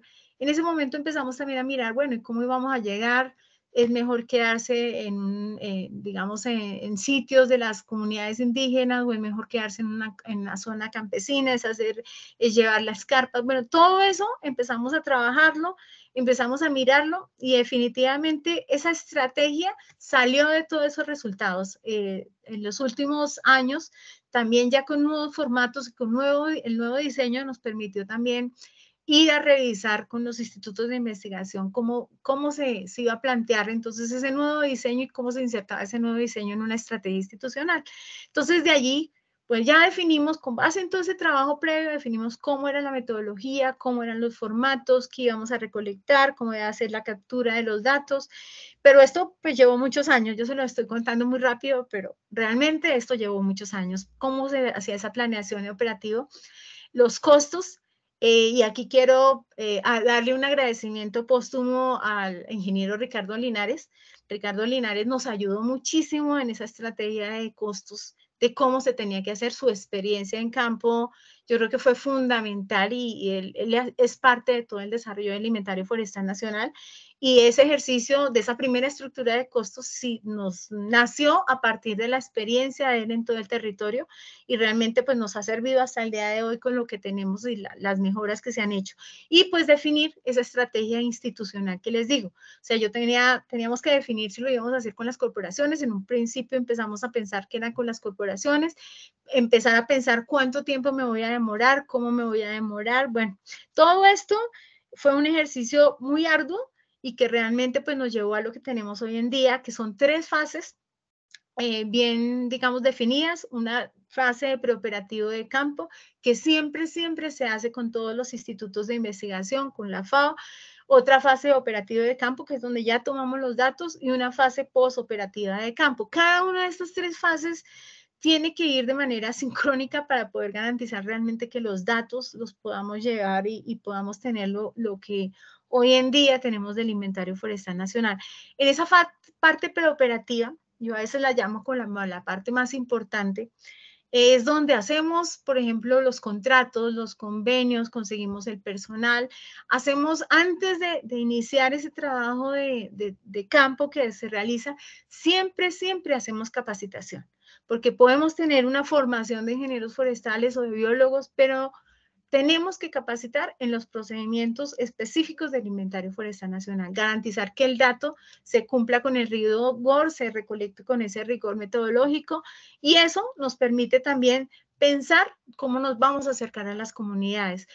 Antes, eh, pues no se iba mucho, o sea, no se concertaba con las, no se hacía socialización, no se llegaba a hacer una sensibilización de las comunidades y hemos tenido toda esa experiencia que ha sido también parte de, experiencia en que nos ha tocado reinvertir muchos recursos para no lograr hacer un levantamiento. Entonces, parte, digamos, de, la riqueza que también tiene el inventario forestal nacional es que las comunidades que han trabajado con nosotros conocen el proceso, saben qué es lo que estamos haciendo y eso ha permitido que también empiecen a, apropiarse de esas metodologías que estamos desarrollando en campo. Entonces, el prooperativo de campo como les digo, es para mí el, más importante del proceso, es donde también les decimos cómo lo tienen que hacer, tienen que hacer un plan de seguridad, un plan de comunicaciones, un plan de, digamos, de cómo voy a llegar a ese territorio y ese preoperativo es el que me garantiza a mí el éxito o el fracaso en el desarrollo del, del proceso metodológico. El operativo, como ya les digo, es donde vamos a campo, con esas brigadas llegamos a levantar los campamentos y empezamos a levantar toda esa información de campo. Y por supuesto, el posoperativo es donde tenemos que hacer los análisis y el cargue de esa información. Entonces, eh, para esto, pues nosotros hacemos al interior del instituto una serie de análisis, tenemos supervisores de campo que constantemente están revisando esos formatos. Muchas veces cuando la información no se ha levantado adecuadamente, tenemos que decirles, por favor, devuélvanse. Y eso es parte también de, la experiencia que, nos ha tocado larga en este transcurso de estos años de poder saber si la información está bien o mal levantada. ¿Qué llevamos? Pues me complace decirles que ya estamos a punto de terminar. Casi que estamos a 11 conglomerados de levantar toda la información. Entonces tenemos en Andes 80%, que pues, esto era junio, pero ya completamos más del 90%, en Amazonía casi que tenemos el 90% también. Orinoquía, Caribe y Pacífico están con el 100% de los levantamientos. Señor. Y básicamente, pues aquí les voy a mostrar algunos de los resultados. hemos levantado seis conglomerados, eh, perdón, 26 conglomerados en áreas de parques nacionales, entre estas las que más, mm, digamos, tienen puntos de conglomerados levantados. Quisiéramos tener más, pero realmente otro de los, de los temas que tenemos es que hay conflicto armado en el territorio y esto ha sido un reto constante, sobre todo en los, en los temas de parques. Para, para hacer el levantamiento en parques nacionales tenemos que conseguir permisos conjuntamente con la Subdirección de Gestión Ambiental de Parques Nacionales. Ellos nos dan esos permisos y hacemos socialización con los jefes de brigadas, pero muchas veces, a veces los mismos jefes de brigadas están, eh, de, de parques, perdón, están amenazados y no podemos entrar a ese territorio. Entonces, realmente ha sido una dinámica constante que tenemos también, o sea, para poder realizar el inventario nos ha tocado em, analizar muestras, incluso sacar sobre muestras bajo los mismos criterios para poder garantizar que la muestra se cumple en el territorio, pero ya realmente estamos, como les digo, a puntas de terminar el inventario. Sí o sí, tenemos que terminar este año el desarrollo de la línea base alimentario y esto pues es parte del ejercicio que venimos desarrollando. En áreas em, de resguardos indígenas es uno de, de, los temas más importantes que tenemos, como lo dice la diapositiva, tenemos 30 364 conglomerados establecidos en esas áreas de resguardos y realmente pues eso es, ha sido un reto constante. Como les digo, eh, muchas con muchas de esas zonas de, de, indígenas lo logramos y eso depende de la socialización, en otras no tanto, en otras a veces ellos pues nos exigen una serie de, de retos, eh, incluso desde el tema de capacitación o desde el tema de que tenemos que darles acompañamiento logístico, pero pues en el marco de ese proceso también hemos aprendido cómo trabajarlo y a pesar de que no en todos los, digamos, los levantamientos tenemos acompañamiento de la parte social, sí se ha podido también desarrollar todo un esquema metodológico para hacer ese, ese trabajo en zonas de resguardo que sea muy específico y de la mano pues, con, con ellos como, como investigadores de campo. Dentro de los avances que tenemos a, a la fecha, pues estamos con estimaciones de carbono, eh, tenemos muchos modelos, tenemos en este momento una primera validación es de unos datos que ya hemos sacado a la luz en los niveles de referencia forestal. En esos datos, donde se analizaron 305 conglomerados, pues se, hicieron algunos modelos, esos, eh, parte de esos ejercicios de validación los hemos hecho con la Universidad Nacional C de Medellín. Tenemos con base en eso em, estimaciones de contenidos de carbono, estimaciones de contenido eh, de, también de carbono almacenado en detritos y en suelos, pues algunos temas de, resultados de la diversidad de riqueza de especies, pero son muy preliminares. Más adelante les muestro también otro, otro de los ejercicios que hemos hecho y por supuesto todo el tema de aplicación de controles de calidad, que eso es importantísimo. Uno de los aspectos que, digamos, que nos llama la atención dentro del ejercicio de análisis de datos que ya hemos hecho preliminarmente es que tenemos más o menos 4.126 especies y morfoespecies pertenecientes a 800 830 géneros y 156 familias. Estos datos que les estoy presentando son muy preliminares y por lo general pueden cambiar y están variando, por lo que estamos implementando muchos más conglomerados y no hemos incluido esos conglomerados en, la, en los análisis pueden bajar o pueden subir dependiendo de las, de las estimaciones que estamos haciendo desde, desde los resultados del inventario a nivel nacional, pero estos son unos ejercicios que quisimos presentar para poder también eh, relevar un poco la importancia de lo que estamos desarrollando. Dentro de las 10 especies con más registros que, se presenta, pues tenemos el, Ocarpus batagua, el Tratropis macrocarpa, el Esfleia, Esfleia coriacea, y bueno, algunas otras especies que son muy importantes en, el contexto nacional. Eh, asimismo, pues acá tenemos, nos están dando esos análisis de los herbarios, ya tenemos algunos hallazgos nuevos, algunas especies raras, otras que no habíamos identificado en algunas regiones naturales, como les digo, todo lo hacemos a nivel de región natural y pues realmente lo, que los resultados que estamos evidenciando pues son muy importantes para, para todo el tema de diversidad florística. Eh, no les hago aquí tampoco énfasis en los temas de carbono, ya hemos dado algunos análisis de temas de carbono tanto en el orden nacional como en el contexto regional para algunas regiones.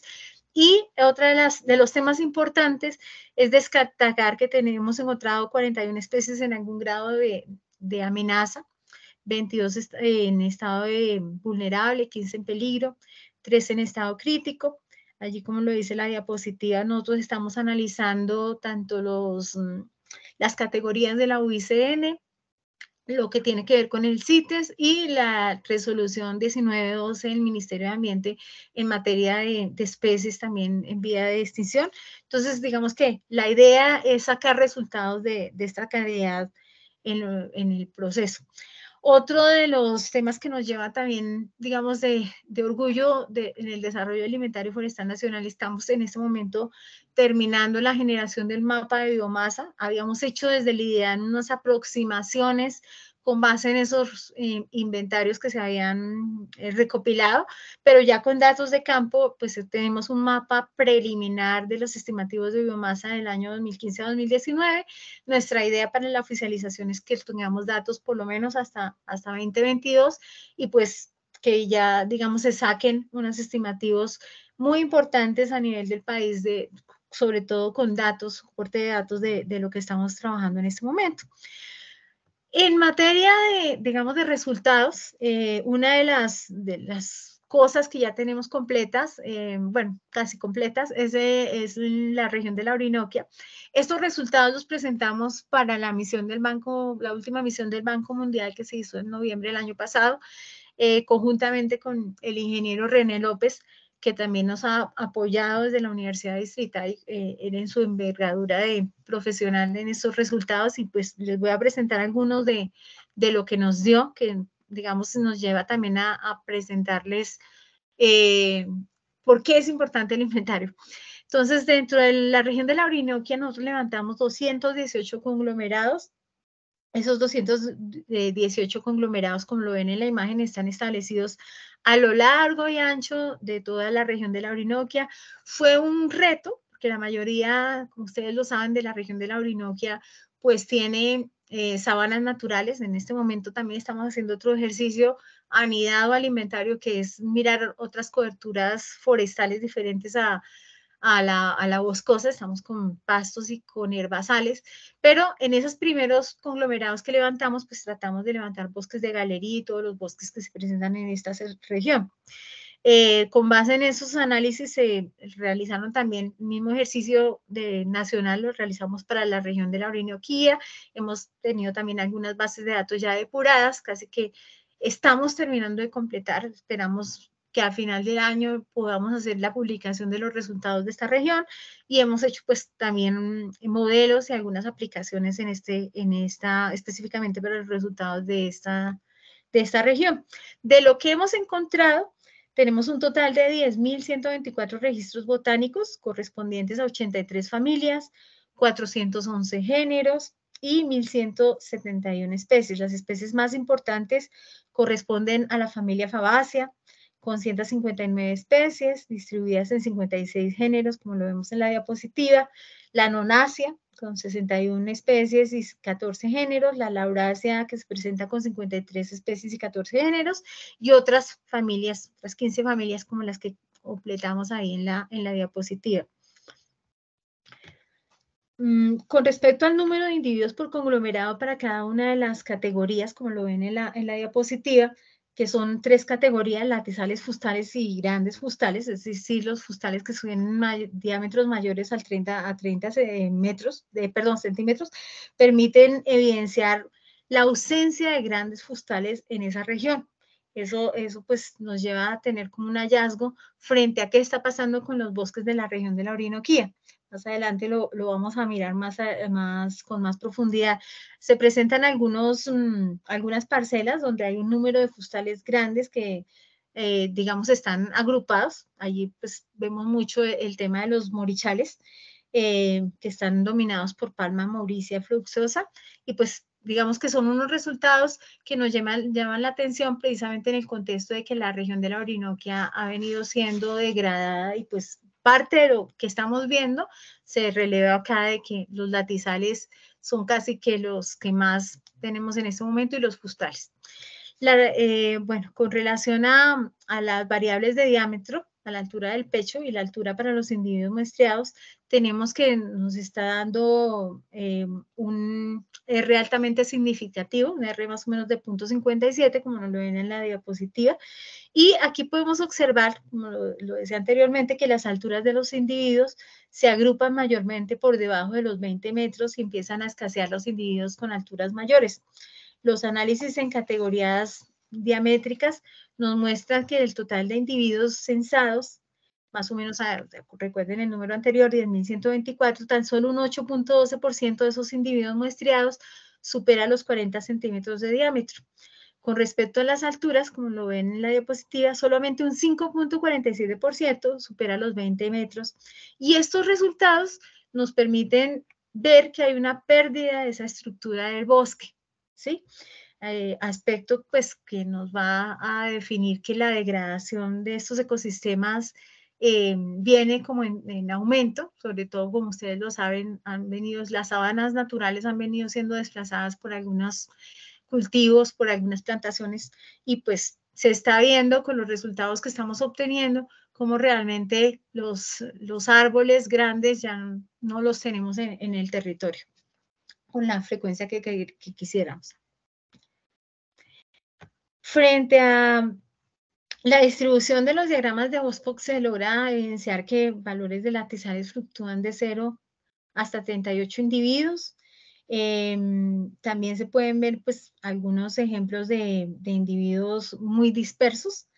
Los valores de individuos en frustales fluctúan desde 0 hasta 18 individuos con algunos valores extremos que pueden llegar a los 80 individuos y para valores grandes de frustales el número fluctúa entre 0 y 10 con algunos datos que, se ven muy extremos. En este caso, pues nos llama la atención eh, que son muy escasos o en algunos casos son ausentes registros relacionados con especies maderables que, en la, eh, digamos, si revisamos la historia forestal de, la región, jugaron un papel importante en estas, como eran el achapo, que ya casi no se ven, el cedro, el cedro dorata, y algunas otras especies, sobre todo del género Aspidosperma. Estos datos pues los hemos analizado con el profesor René López y pues son resultados de todo lo que hemos estado evidenciando en, el trabajo en esta región. Dentro de las especies con categoría de, riesgo, o sea, nosotros, eh, eh, como les decía, hemos hecho los análisis con base en las categorías de la UISN, del Ministerio de Ambiente eh, y de la, del CITES, y pues nos evidencian que hay 304 registros em, de acuerdo con las categorías de la UICN que presentan menor preocupación. Hay dos registros nomás que presentan datos insuficientes, cuatro que están en peligro de extinción. Y de acuerdo con los datos de los libros rojos, hay ocho especies que se presentan con digamos, en algunos datos que son todavía insuficientes, pero que nos, digamos, están registrados en esos libros rojos como especies que hay que tener cuidado en el tema de diversidad. Em, también se presentan eh, una especie que, em, digamos, eh, tiene datos, em, perdona, se me olvidó, estaba mirando el NT, que presentan casi amenazas, algún grado de amenaza, y tres que presentan grados vulnerables.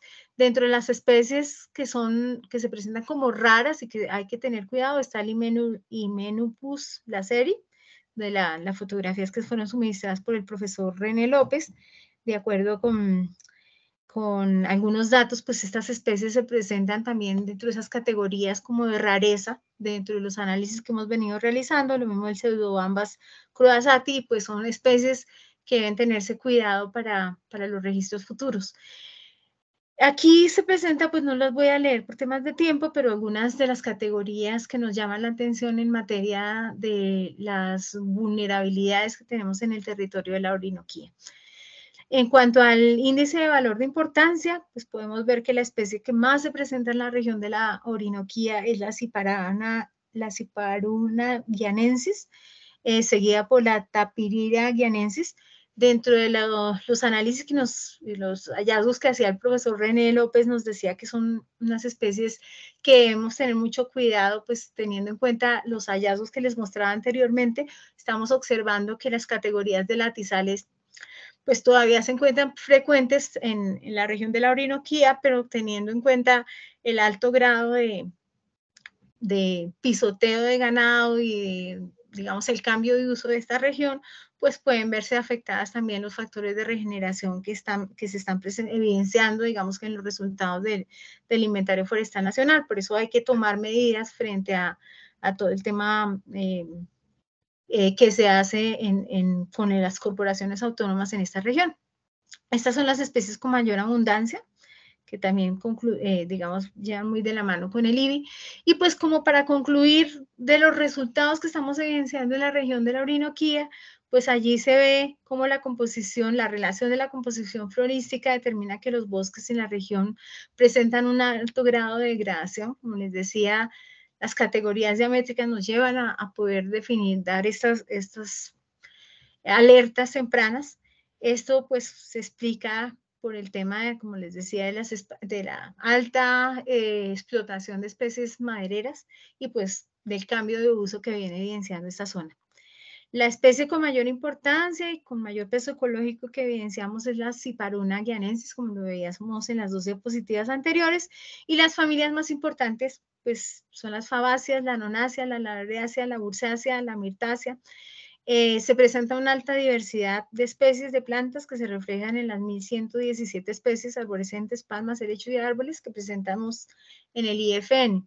Como ven, pues estos son resultados digamos, todavía preliminares, pero que nos muestran por qué es importante el inventario forestal nacional.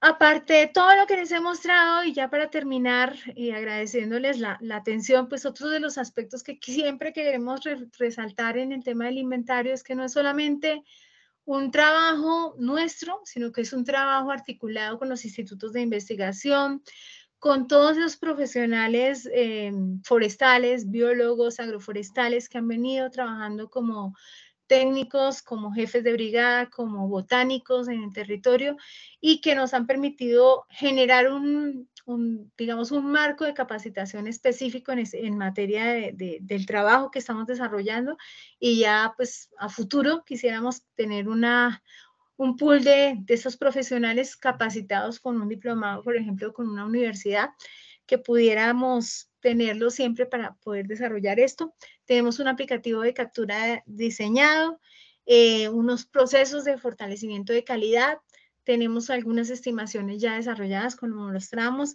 y pues otro de los aspectos importantes es la sensibilización de las comunidades locales que hemos trabajado. A partir del inventario, pues estamos también desarrollando todo el tema de estimaciones de otras coberturas, como se los comentaba anteriormente, y estamos generando empleo. Ese también es uno de los, de los grandes logros del inventario forestal nacional y que va pues de la mano también de, de poder fortalecer a nuestros profesionales de la ingeniería forestal que se vinculan al proceso eh, en este momento no les tengo el dato de cuántos hemos vinculado, pero realmente es un pool bastante grande y, realmente contamos con una eh, fortaleza en materia de, esas capacitaciones que hemos logrado con, y eh, de, de, de, la mano con el inventario forestal nacional. Aparte de eso, pues hay un dinamismo de la economía local porque pues contratamos digamos, lo que llamamos nosotros trocheros, pero para, para el inventario son co-investigadores, contratamos cocineras, eh, hacemos también un trabajo pues de, de, la mano de contratar a veces aviones charter para poder desplazar eh, los insumos que se requieren y pues todo eso genera un dinamismo en esa economía local. Y por supuesto hay una participación muy activa de las comunidades locales. Otro de los puntos importantes es que también tenemos un trabajo diferenciado de género y eso también hay que reconocerlo acá. A veces somos más pocas las ingenieras forestales, pero también se ha visto, y por eso lo, lo miramos en las diapositivas, muchas de nuestras profesionales son líderes y son jefes de brigadas, y pues eso también se releva mucho en el contexto del, desarrollo. Como les digo, estamos terminando, estamos casi que a punto de terminar los últimos 11 conglomerados. Es un, digamos, es una riqueza y la información que, que esperamos sacar, del cual el decreto nos da un año para poderla sacar, pues se deriva, como lo vieron ahí, una cantidad de información que es muy valiosa para toda la toma de decisiones en el país. ¿Qué sigue? Conseguir los recursos para poder afinar algunos eh, conglomerados que todavía tenemos eh, esa dificultad de que no pudimos eh, completar, que tuvimos información muy baja, poder validar esa información, hacer análisis, revisar realmente todo y publicar esos resultados y conseguir los recursos para los siguientes ciclos de implementación de los inventarios que vienen. Entonces, con esto, pues estas son las entidades socias, como les decía, no lo hemos hecho solo. Eh, han trabajado la academia, los institutos de investigación, las ONGs, eh, todos esos cooperantes internacionales que han sido nuestro brazo clave en el tema de recursos y pues por supuesto todos los profesionales y eh, que, trabajan en esto día a día, no es un trabajo solitario, sino es un trabajo de la mano de toda la institucionalidad y, por supuesto, liderado por la Subdirección de Ecosistemas y el IDEAN. Con esto me les doy las gracias y disculpen que creo que me extendí mucho. Muy amables.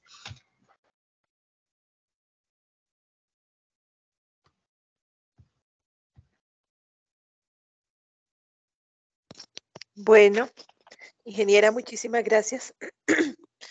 Realmente, pues es un tema bastante importante para nuestro país, importante para las diferentes regiones que, que involucra, ¿no?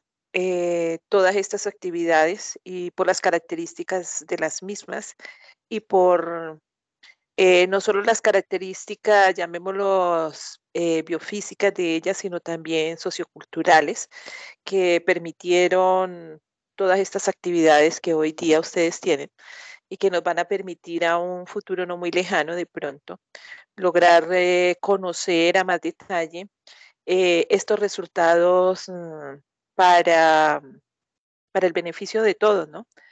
Eh, ingeniera, muchísimas gracias, de verdad que sí. Eh, un informe eh, sobre este inventario, una presentación bastante interesante, que yo sé que a las personas que están aquí escuchando esta presentación, eh, no solo les interesó toda la información, sino que les dejó muchísimas inquietudes para llevar a sus regiones y poder compartir parte de esta información. Muchísimas gracias, ingeniero. Y pues, ingeniero Germán, eh, continuamos con usted eh, para continuar con la dinámica de la presentación.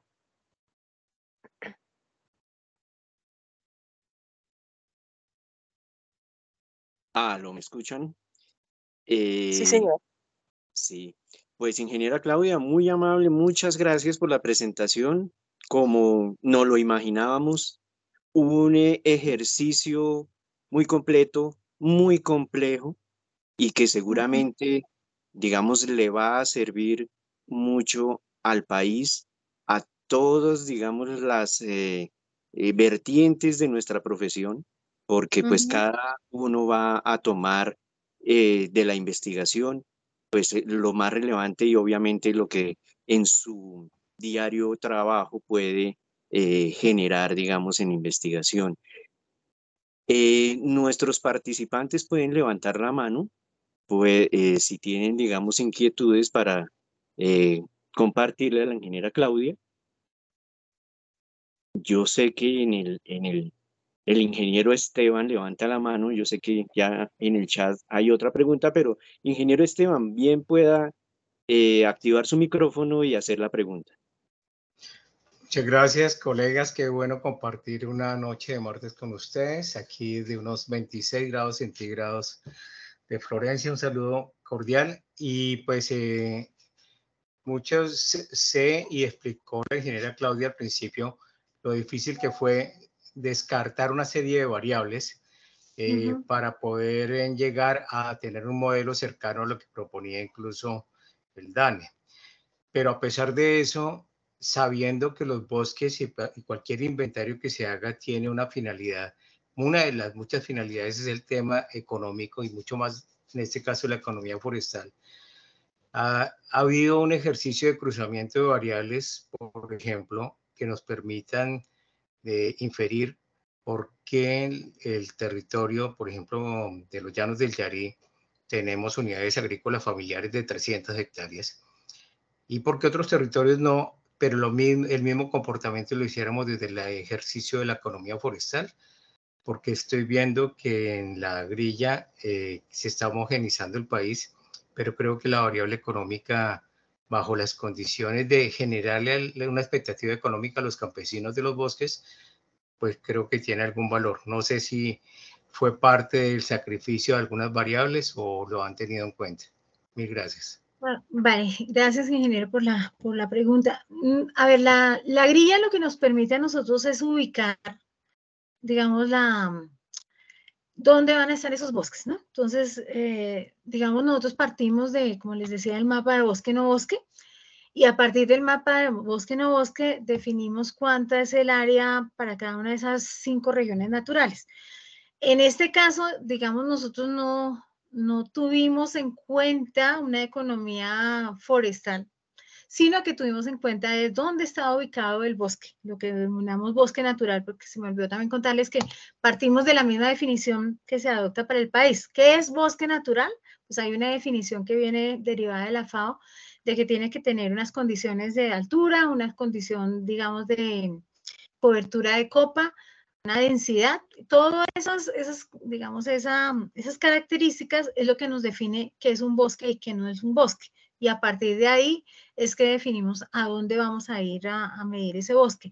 Nosotros no tenemos en cuenta el tema, lo que tú mencionas, el tema de la, de la unidad agrícola familiar, porque digamos, ese es un análisis que se hace derivado de los análisis de diversidad que, que tenemos que dar acá. Aquí lo que nos interesa eh, es encontrar cuáles son esas características de los bosques en materia de diversidad, de estructura, de composición, de, biomasa y de carbono. Y sobre esa base sí tú puedes ahí hacer análisis derivados. ¿Qué análisis derivados, por ejemplo, tenemos en este momento? Nosotros hicimos conjuntamente precisamente con el DANE, ahorita el documento también está publicado en la página del, instituto, eh, la cuenta económico-ambiental de, de bosques. Entonces nosotros podemos generar qué es lo que pasa con ese bosque y ya para el tema de la, de la economía, como tú lo refieres, eh, si hay algunas especies que están siendo sometidas, pues hay que revisarlas. Eh, ¿Por qué, digamos, los, mm, las poblaciones que están ahí están haciendo uso? Pero es un tema casi que derivado de la información de un análisis técnico que sale primero antes de hacer una información derivada, ¿sí? No sé si, si me hago entender ahí, pero básicamente lo que se quiere desde el instituto es, en primer lugar, definir qué hay, cómo está ese recurso en materia de las diferentes variables estructurales y ahí sí, después hacer análisis relacionados. Entonces, cómo está el bosque con relación al agua, cómo está el bosque con relación al suelo, cómo está el bosque con relación a la economía local para poder hacer ese análisis. Pero no podíamos iniciar primero, como tú lo defines, de, de definir es que acá hay una unidad agrícola de tanto, no, porque nuestro criterio es puramente técnico. Tenemos que ir a mirar la estructura que es nuestra base fundamental en ese contexto de revisar cómo, cómo está el bosque. Y ya después se derivan los análisis que sí podemos hacer, hacia dónde tenemos que dirigir la, digamos, la, la unidad agrícola, si es que las familias tienen un, uso de algunas especies en particular, pero tiene que ser es un análisis derivado, no puede hacer a priori. Mm, no sé si, si entendiste ahí o quieres de pronto acotar algo más. No, perfecto.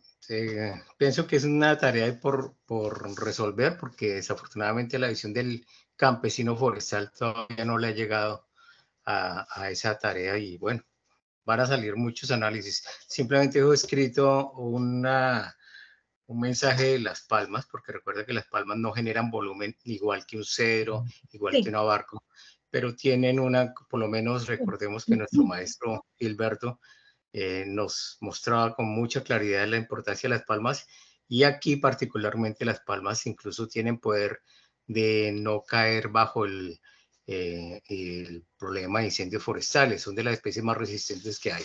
Y entonces, bueno, eso le da una connotación que no, no siempre el volumen es el representativo, ¿no? Sí, ingeniero, de pronto se me olvidó también por el tema de tiempo eh, mencionarlo. Nosotros en este momento todavía, por eso digo que son análisis muy preliminares. Nosotros tenemos tres hábitos, árboles, eh, palmas y helechos arborescentes, ¿sí? Los análisis de palmas son una cosa particular, pero todavía, digamos, eh, sobre todo en la región de la Orinoquía, lo tenemos que abordar a más profundidad y es parte, digamos, del reto. Por eso todo lo que les presenté son análisis muy preliminares de los resultados que estamos obteniendo, pero hay que hacer toda esa profundización, como tú dices, al detalle de cada uno de los hábitos que estamos obteniendo en el inventario. Bueno, muchas gracias, ingeniera. ¿Alguien de los participantes eh, quiere realizar alguna, alguna pregunta? Noto que no hay eh, mano levantada, ya hay dos manos levantadas. Ingeniera Miriam. Sí, señor. Se me marcó aquí con el número dos y luego viene el ingeniero Francisco con el número tres. Bueno.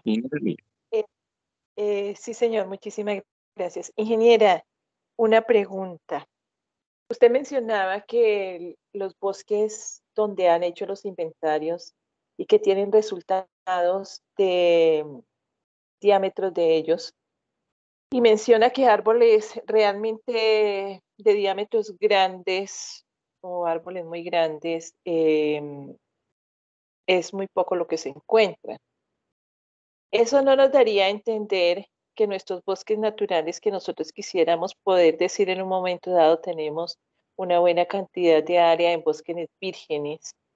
Ya no tenemos bosques vírgenes, sino que em, eh, esos bosques nuestros en Colombia ya han venido de alguna manera siendo alterados o aprovechados eh, por las comunidades o por determinada persona.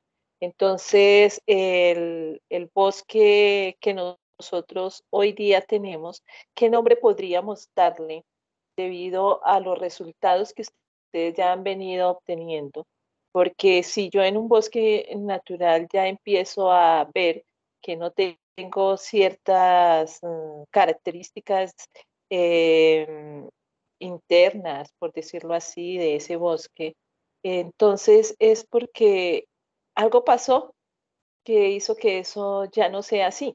Entonces, ¿qué nombre eh, ustedes que tienen ya ese liderazgo en el tema y toda esa experiencia que vienen teniendo, podríamos en un momento dado darle a ese tipo de bosque que yo pensaría que en un muy, muy, muy alto porcentaje ya no son bosques vírgenes.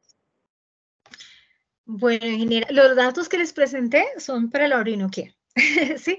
Entonces, digamos, precisamente nos llama la atención eso y se, digamos, sí, va a ser una pues no lo puedo decir, pero digamos en la Amazonía sí encontramos eh, casi que invertidos, ahí sí tenemos muchos árboles todavía de fustales grandes. Y puede ser, y como nosotros estamos siguiendo muchas zonas que nunca habíamos hecho inventarios, puede ser que podamos tener todavía algunos relictos primarios. Me atrevo a decir porque todavía como no hemos todavía analizado todos esos datos, pues en este momento es muy preliminar hacer esas... Mm, eh, o dar, confirmar esas suposiciones que tenemos en este momento. Eh, eso nos lleva, digamos, precisamente, sobre todo en la región de la Orinoquia, donde estamos viendo ya una afectación, a tratar de, de, dar unos parámetros de, digamos, primero, de que hay que tomar medidas frente a que no se pueden acabar las especies que existían antes pueden ser medidas precisamente que nos lleven a, tomar acciones en el tema de restauración. ¿sí? Esto, digamos que tiene que ir muy de la mano con, con, los análisis que hagamos con el Ministerio de Ambiente. Como les digo, la idea en este momento con todos esos resultados es que toca empezar a validar, toca empezar a depurar, porque hay muchos datos todavía, lo que llamamos sucios eh, en el contexto de, de los análisis, pero eh, nos llevan a esas alertas que hay que revisar en el territorio. Nosotros quisiéramos tener un mapa de tipos de bosque, no me atrevo a decir cómo se pueden llamar en este momento, no podría ingeniera darle una respuesta frente a eso, pero de hecho, por ejemplo, para la evaluación de los recursos forestales mundiales que nos preguntan, bueno, defínanos cuánto es la cantidad de bosques primarios pues eso nos lleva a, mirar si tenemos todavía bosque primario en Colombia. Sí, hay que revisarlo. Y hay que revisarlo frente precisamente a la composición y la estructura de las especies que nos están dando. Eh, como todavía no hemos terminado el último, el último conglomerado y todavía hasta a duras penas hemos completado todos los datos hasta más o menos hasta el 2022, todavía estamos crudos para poder llegar a, a cumplirle digamos, esos al país lo que requiere en materia de bosques. Eh, estamos en, esa fase y, la verdad es que todavía nos espera un arduo camino en esos análisis. Tenemos un año y esperamos de aquí a, a unos meses poderle dar la respuesta en general. en este momento no me atrevo, pero realmente sí nos lleva es una, una alerta de lo que está pasando en el territorio. Muchas gracias, Claudia. El ingeniero Iván Rivera tiene levantada la mano. Por favor, active su micrófono y puede realizar su pregunta. Ingeniero Iván, a eso sí, ya. Adelante. Buenas, noches. Hola, Claudia, un saludo. Qué bueno verte por acá en estos espacios. Buenas noches, ingeniero. Pues muy interesante la, las acotaciones en relación con el inventario. Bastante, digamos que importantes y contribuyen pues a todo el, el escenario nacional de consolidación de, de información forestal que, que, pues siempre ha sido como un cuello de botella en, en general pues para la toma de decisiones. En ese sentido pues Claudia, ¿qué sugerencia a partir de, de toda esta experiencia puedes dar en relación con eh, cómo, cómo lograr interactuar esos resultados del inventario con, con los escenarios del licenciamiento ambiental. Pues que el licenciamiento ambiental también parte del hecho de unos diagnósticos, unas líneas bases en el componente flora, que pues probablemente pudieran ser suplidos con, con los resultados regionales. Y, y, en ese sentido, ¿cómo podrían las empresas y, y, pues en general los proyectos, obras o actividades eh, contribuir o fortalecer el, el, el escenario de, del inventario en, en, procesos de compensación o, o, equivalencias en el proceso de compensación a favor de, de la continuidad del inventario, cómo podría hacer ese enlace y, y poderlo llevar, digamos, a, materializarlo, ¿no? Gracias por la pregunta. Yo creo que ese es uno de los retos, de, de hecho, dentro del decreto 1655 eh, del 2017 lo menciona, esa articulación con los procesos de licenciamiento. Eh, y pues ahí habla una, una, cosa clave que es desde que el mismo muestreo los licenciamientos vaya como de la mano de, del muestreo del inventario forestal nacional. Nosotros tenemos para ofrecer pues una metodología, una metodología de campo estandarizada. Eh, y digamos en la medida en que todos los, los, procesos de inventario que hacen ustedes desde la ANLA se pudieran llevar con esa misma metodología, podríamos comparar eh, esos análisis y que esa línea base de información que estamos derivando desde el inventario pues les sirva también a, algunos, algunos temas de, de, lo que se requiere en, en materia de licenciamiento. Yo creo que eh, casi que la información del inventario forestal debe de ser como un referente, ¿no? Un referente eh, tanto de qué especies, por ejemplo, están en estado vulnerable, que debe llamarle la atención a ustedes en la ANLA y en, no solo en la ANLA, sino en los licenciamientos que hacen las corporaciones. ¿Qué especies, por ejemplo, eh, deben tenerse como con cuidado y hacer levantamientos más a profundidad, con mayor rigor y mayor densificación? Nosotros desde el inventario, pues podemos ofrecer, eh, digamos, la, la, definición de esos tamaños de la muestra, podemos ofrecerles que también que han anidado, digamos, los sitios para poder, mm, digamos, realizar esos levantamientos, pero todavía, digamos que es preliminar lo que, lo que les podamos decir. Estamos en este momento también haciendo la reglamentación del decreto 1755, 1655 y en materia de licenciamiento creo que ha sido uno de los mayores retos, porque con ordenación forestal lo tenemos claro, pero con el tema de licenciamiento, pues a qué nivel lo vamos a hacer, eso todavía está definido. Pero creo que simplemente para contestarte, el inventario forestal nacional es un referente, digamos, metodológico y un referente sobre los resultados de que, cuál es el foco que ustedes tienen que ver en materia de lo que se está conservando, lo que se debe conservar, lo que se debe digamos, tener un mayor criterio en esa, en materia de compensaciones y en materia de, digamos, de resguardo, de, de no ir a, a, dar un proyecto de, por ejemplo, infraestructura sobre algunas zonas que deben ser conservadas. Entonces, básicamente constituye como un lineamiento general de, para la toma de decisiones. Bueno, avanzamos con Laura. Laura, puedes activar tu micrófono y y, y hacer la pregunta. Eh, hola, muy buenas noches. Eh, primero que nada, pues quería dar las, eh, eh pues dar las gracias por, eh, bueno, sí, muy interesante la presentación. Y quisiera preguntarte cómo, por eh, lo que estaban, bueno, preguntando en el chat, en cuanto a lo de si hay como estandarizada alguna metodología para lo de la estim estimación y, la, y lo de secuestro de carbono, o sea, si tienen una herramienta metodológica estandarizada para hacerlo del cálculo de, de la captura de CO2. Bueno, en, sí, digamos, el mismo manual de campo que estamos empleando sirve de referente para todo el tema de captura, ¿sí? nosotros, como lo decía en la presentación, tomamos, em, digamos, hacemos mediciones em, en los diferentes compartimientos de, árbol, biomasa aérea, biomasa subterránea, detritos de madera, y cada uno, digamos que en, su metodología de, medición constituye un referente metodológico. Cuando tú tienes esas mediciones estandarizadas y simplemente lo que haces posteriormente es mm, aplicarle unos factores de, de conversión, pues ya tienes un referente. Nosotros dentro de lo que trabajamos en, el estándar alimentario, por eso lo decía, una de las cosas fundamentales es la identificación de las especies con las que estamos trabajando. Entonces, eso tiene que ir muy de la mano con lo que se trabaja. El, el inventario da, o el manual de campo más bien, da como esos parámetros de cómo lo debemos medir en campo y cómo se debe también hacer la colecta botánica.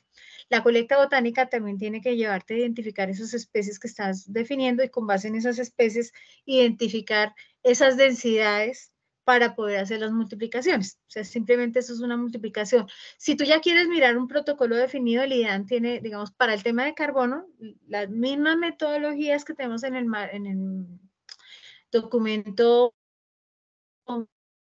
metodológico de manual de campo de, de inventario forestal y simplemente es aplicarle unos, unos factores de conversión, como hacen las variables que se tienen para poder estimar esos variables. Entonces, la respuesta, Laura, es sí. Digamos, el, el marco lógico del inventario que está en el manual de campo de versión 5.2 constituye un referente. Eso aliado pues con todo el tema de la identificación en campo de las especies te permite llevar a, a cabo la, la identificación. Estamos eh, ahorita tratando de sacar la hoja metodológica de, cálculo y esa hoja metodológica de pronto les va a dejar mucho más claro de cómo es esa estimación. Sin embargo, si quieres ver algunos referentes que son exactamente iguales de lo que estamos haciendo en el trabajo, hay un protocolo que sacó el IDEAN sobre la estimación de, de, reservas de carbono en los diferentes bosques y compartimientos, eh, que lo tenemos también ahí ubicado, puedes colocarlo como protocolo para la estimación de reservas de carbono en, en bosques naturales. Está publicado desde el sistema de monitoreo de bosques y carbono. Entonces, esa es como la, como la estandarización que estamos haciendo en los procesos del IDEAN. Sí, bueno, ya casi vamos a terminar la sesión de preguntas, pero continuamos con Mario. Mario, puedes hacer la tuya.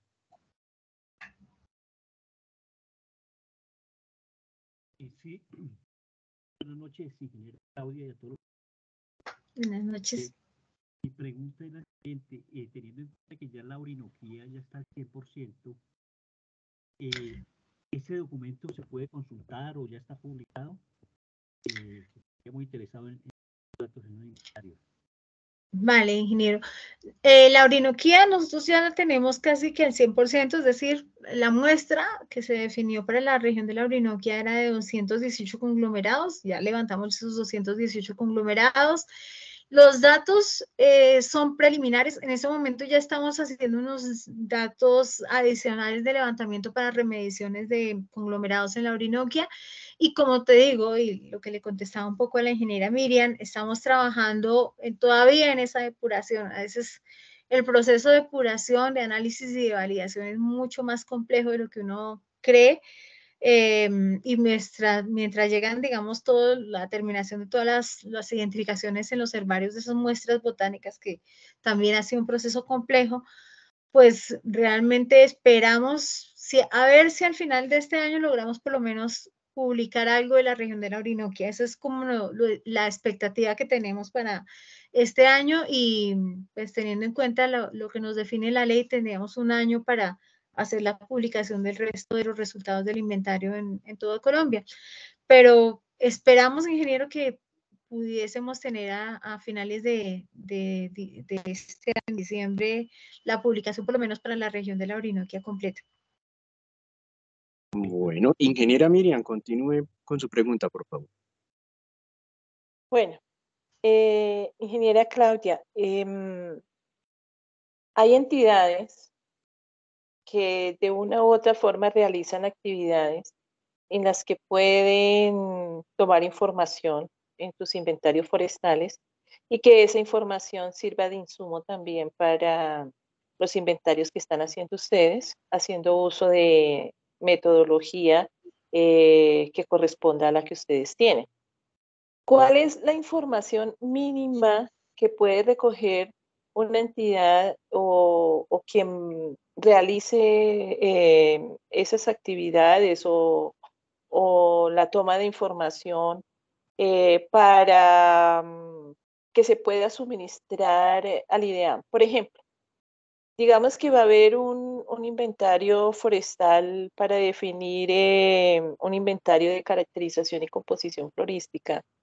Eh, eh, necesariamente ese inventario debe incluir la, toma de información de los detritos o debe incluir materia orgánica o hasta dónde como mínimo se puede recolectar esa información que realmente le sirva al IDEAN eh, que se pueda enviar la información, decir en los bosques tales donde ustedes tienen un área tan, de tanto y hay dos, tres, cinco, diez, veinte conglomerados.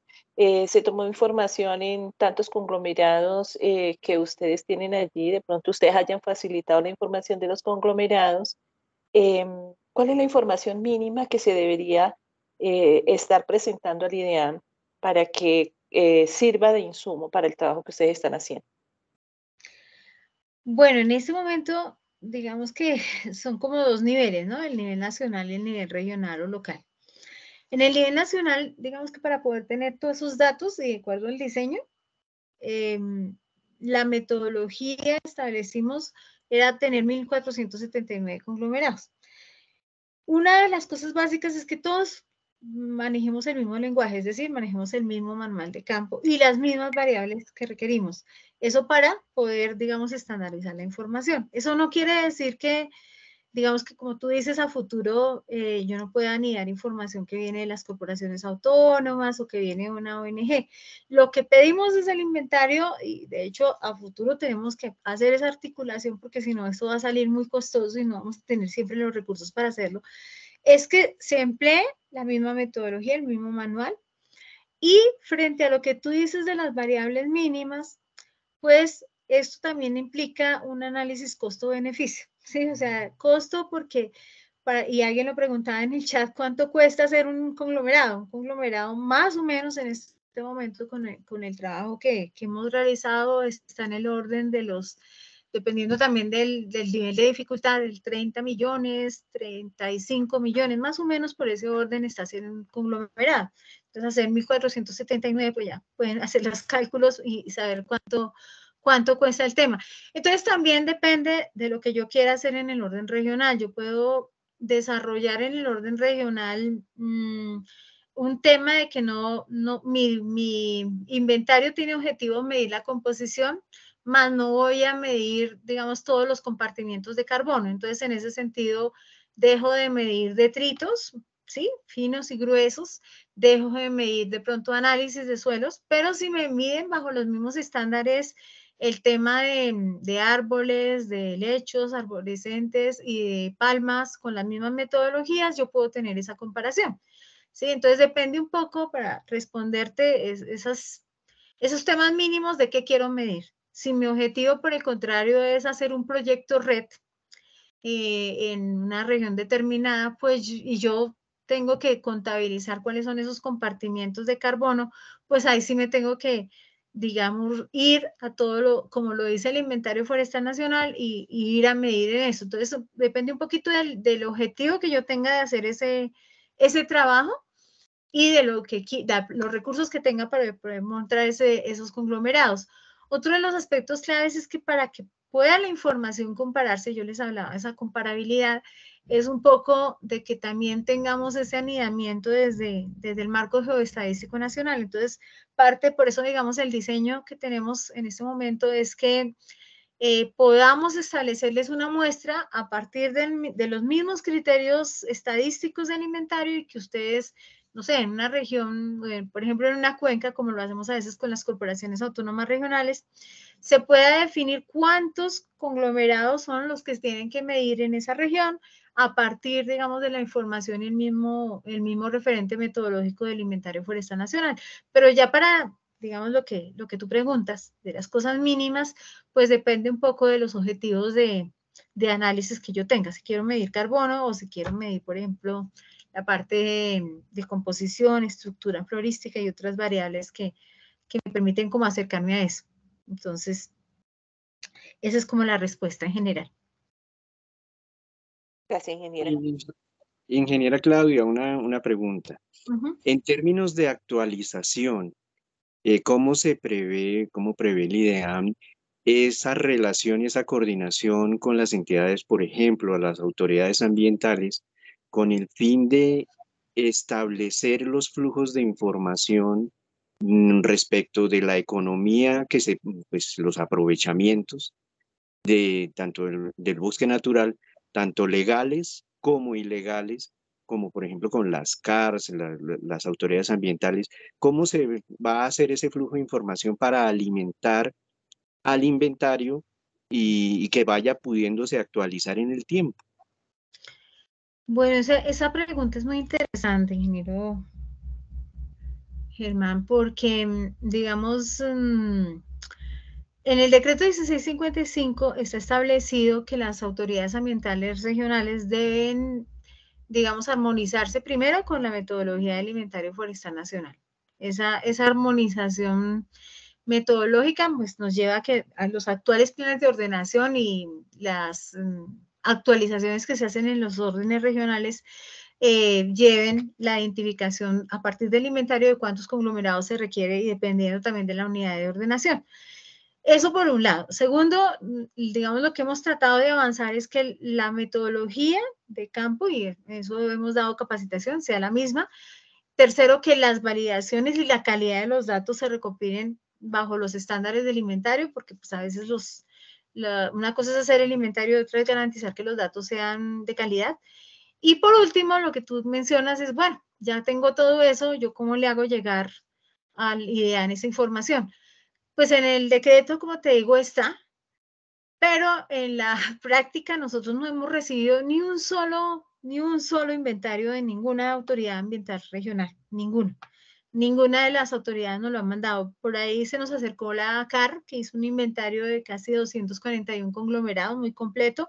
Cuando fuimos a revisar la calidad de los datos era poco regular.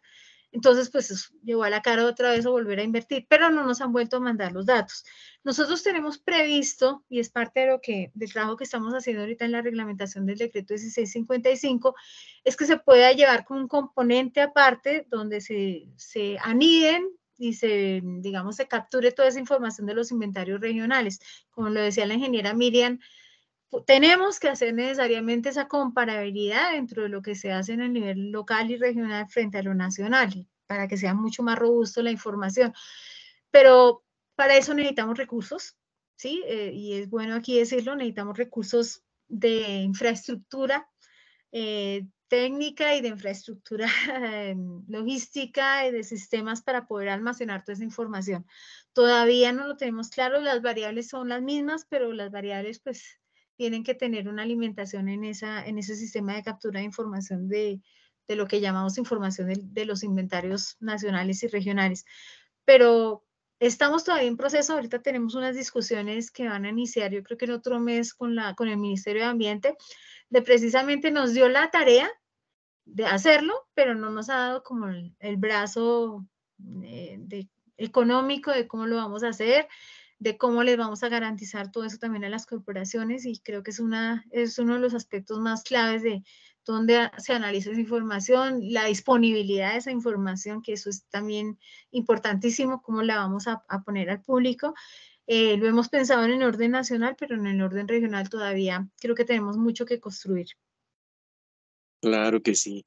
Ingeniera Claudia, muchas gracias por todo el tiempo y la dedicación. Ha sido una sesión muy nutrida de preguntas, todas muy interesantes, todas con un desarrollo bastante profundo. Y pues eh, nuevamente, ingeniera Claudia, muchas gracias por compartir toda esta información porque seguramente nos va a servir en el futuro mucho a, todo el gremio, eh, pues estos avances y los resultados, por supuesto, que se publicarán muy pronto eh, por parte del IDEAN. Le agradecemos mucho, haga por favor extensivo a, las directivas del IDEAM el agradecimiento de la Asociación Colombiana de Ingenieros Forestales por pues, atender, digamos, nuestra, nuestra, nuestra solicitud para poder conocer más sobre este tema. Y pues nada, estará eh, abiertas las puertas de ASIF eh, para lo que se requiera por parte del IDEAM, por supuesto que sí, y pues para poder ir avanzando, digamos, en la construcción, ojalá, de análisis eh, con base, digamos, en los resultados del inventario. Muchas gracias, señora Claudia. No, muchas gracias a ustedes, a todos los ingenieros, a, la presidenta de la asociación, la, ingeniera Miriam. Realmente, pues para nosotros también es un placer compartirles y como les digo, estamos todavía, todavía un poquito en pañales, terminando por lo menos el proceso de levantamiento, que es ya un gran reto, pero de verdad darles las gracias y pues cuenten con, con el IDEAN en cualquier materia que, que se requiera. Muy amables a todos, gentiles. Muchas gracias, ingeniera Claudia. Y para todos los participantes, pues una invitación para el próximo martes, en donde vamos a tratar el tema de los sistemas agropastoriles y agropastoriles eh, en una nueva jornada de esta segunda parte de las sesiones de conferencias eh, que gestiona la Asociación Colombiana de Ingenieros Forestales, tratando de cubrir todos los temas de interés para eh, nuestros asociados. Una, muy amables, muchas gracias por acudir y por atender a nuestra invitación para eh, estas conferencias.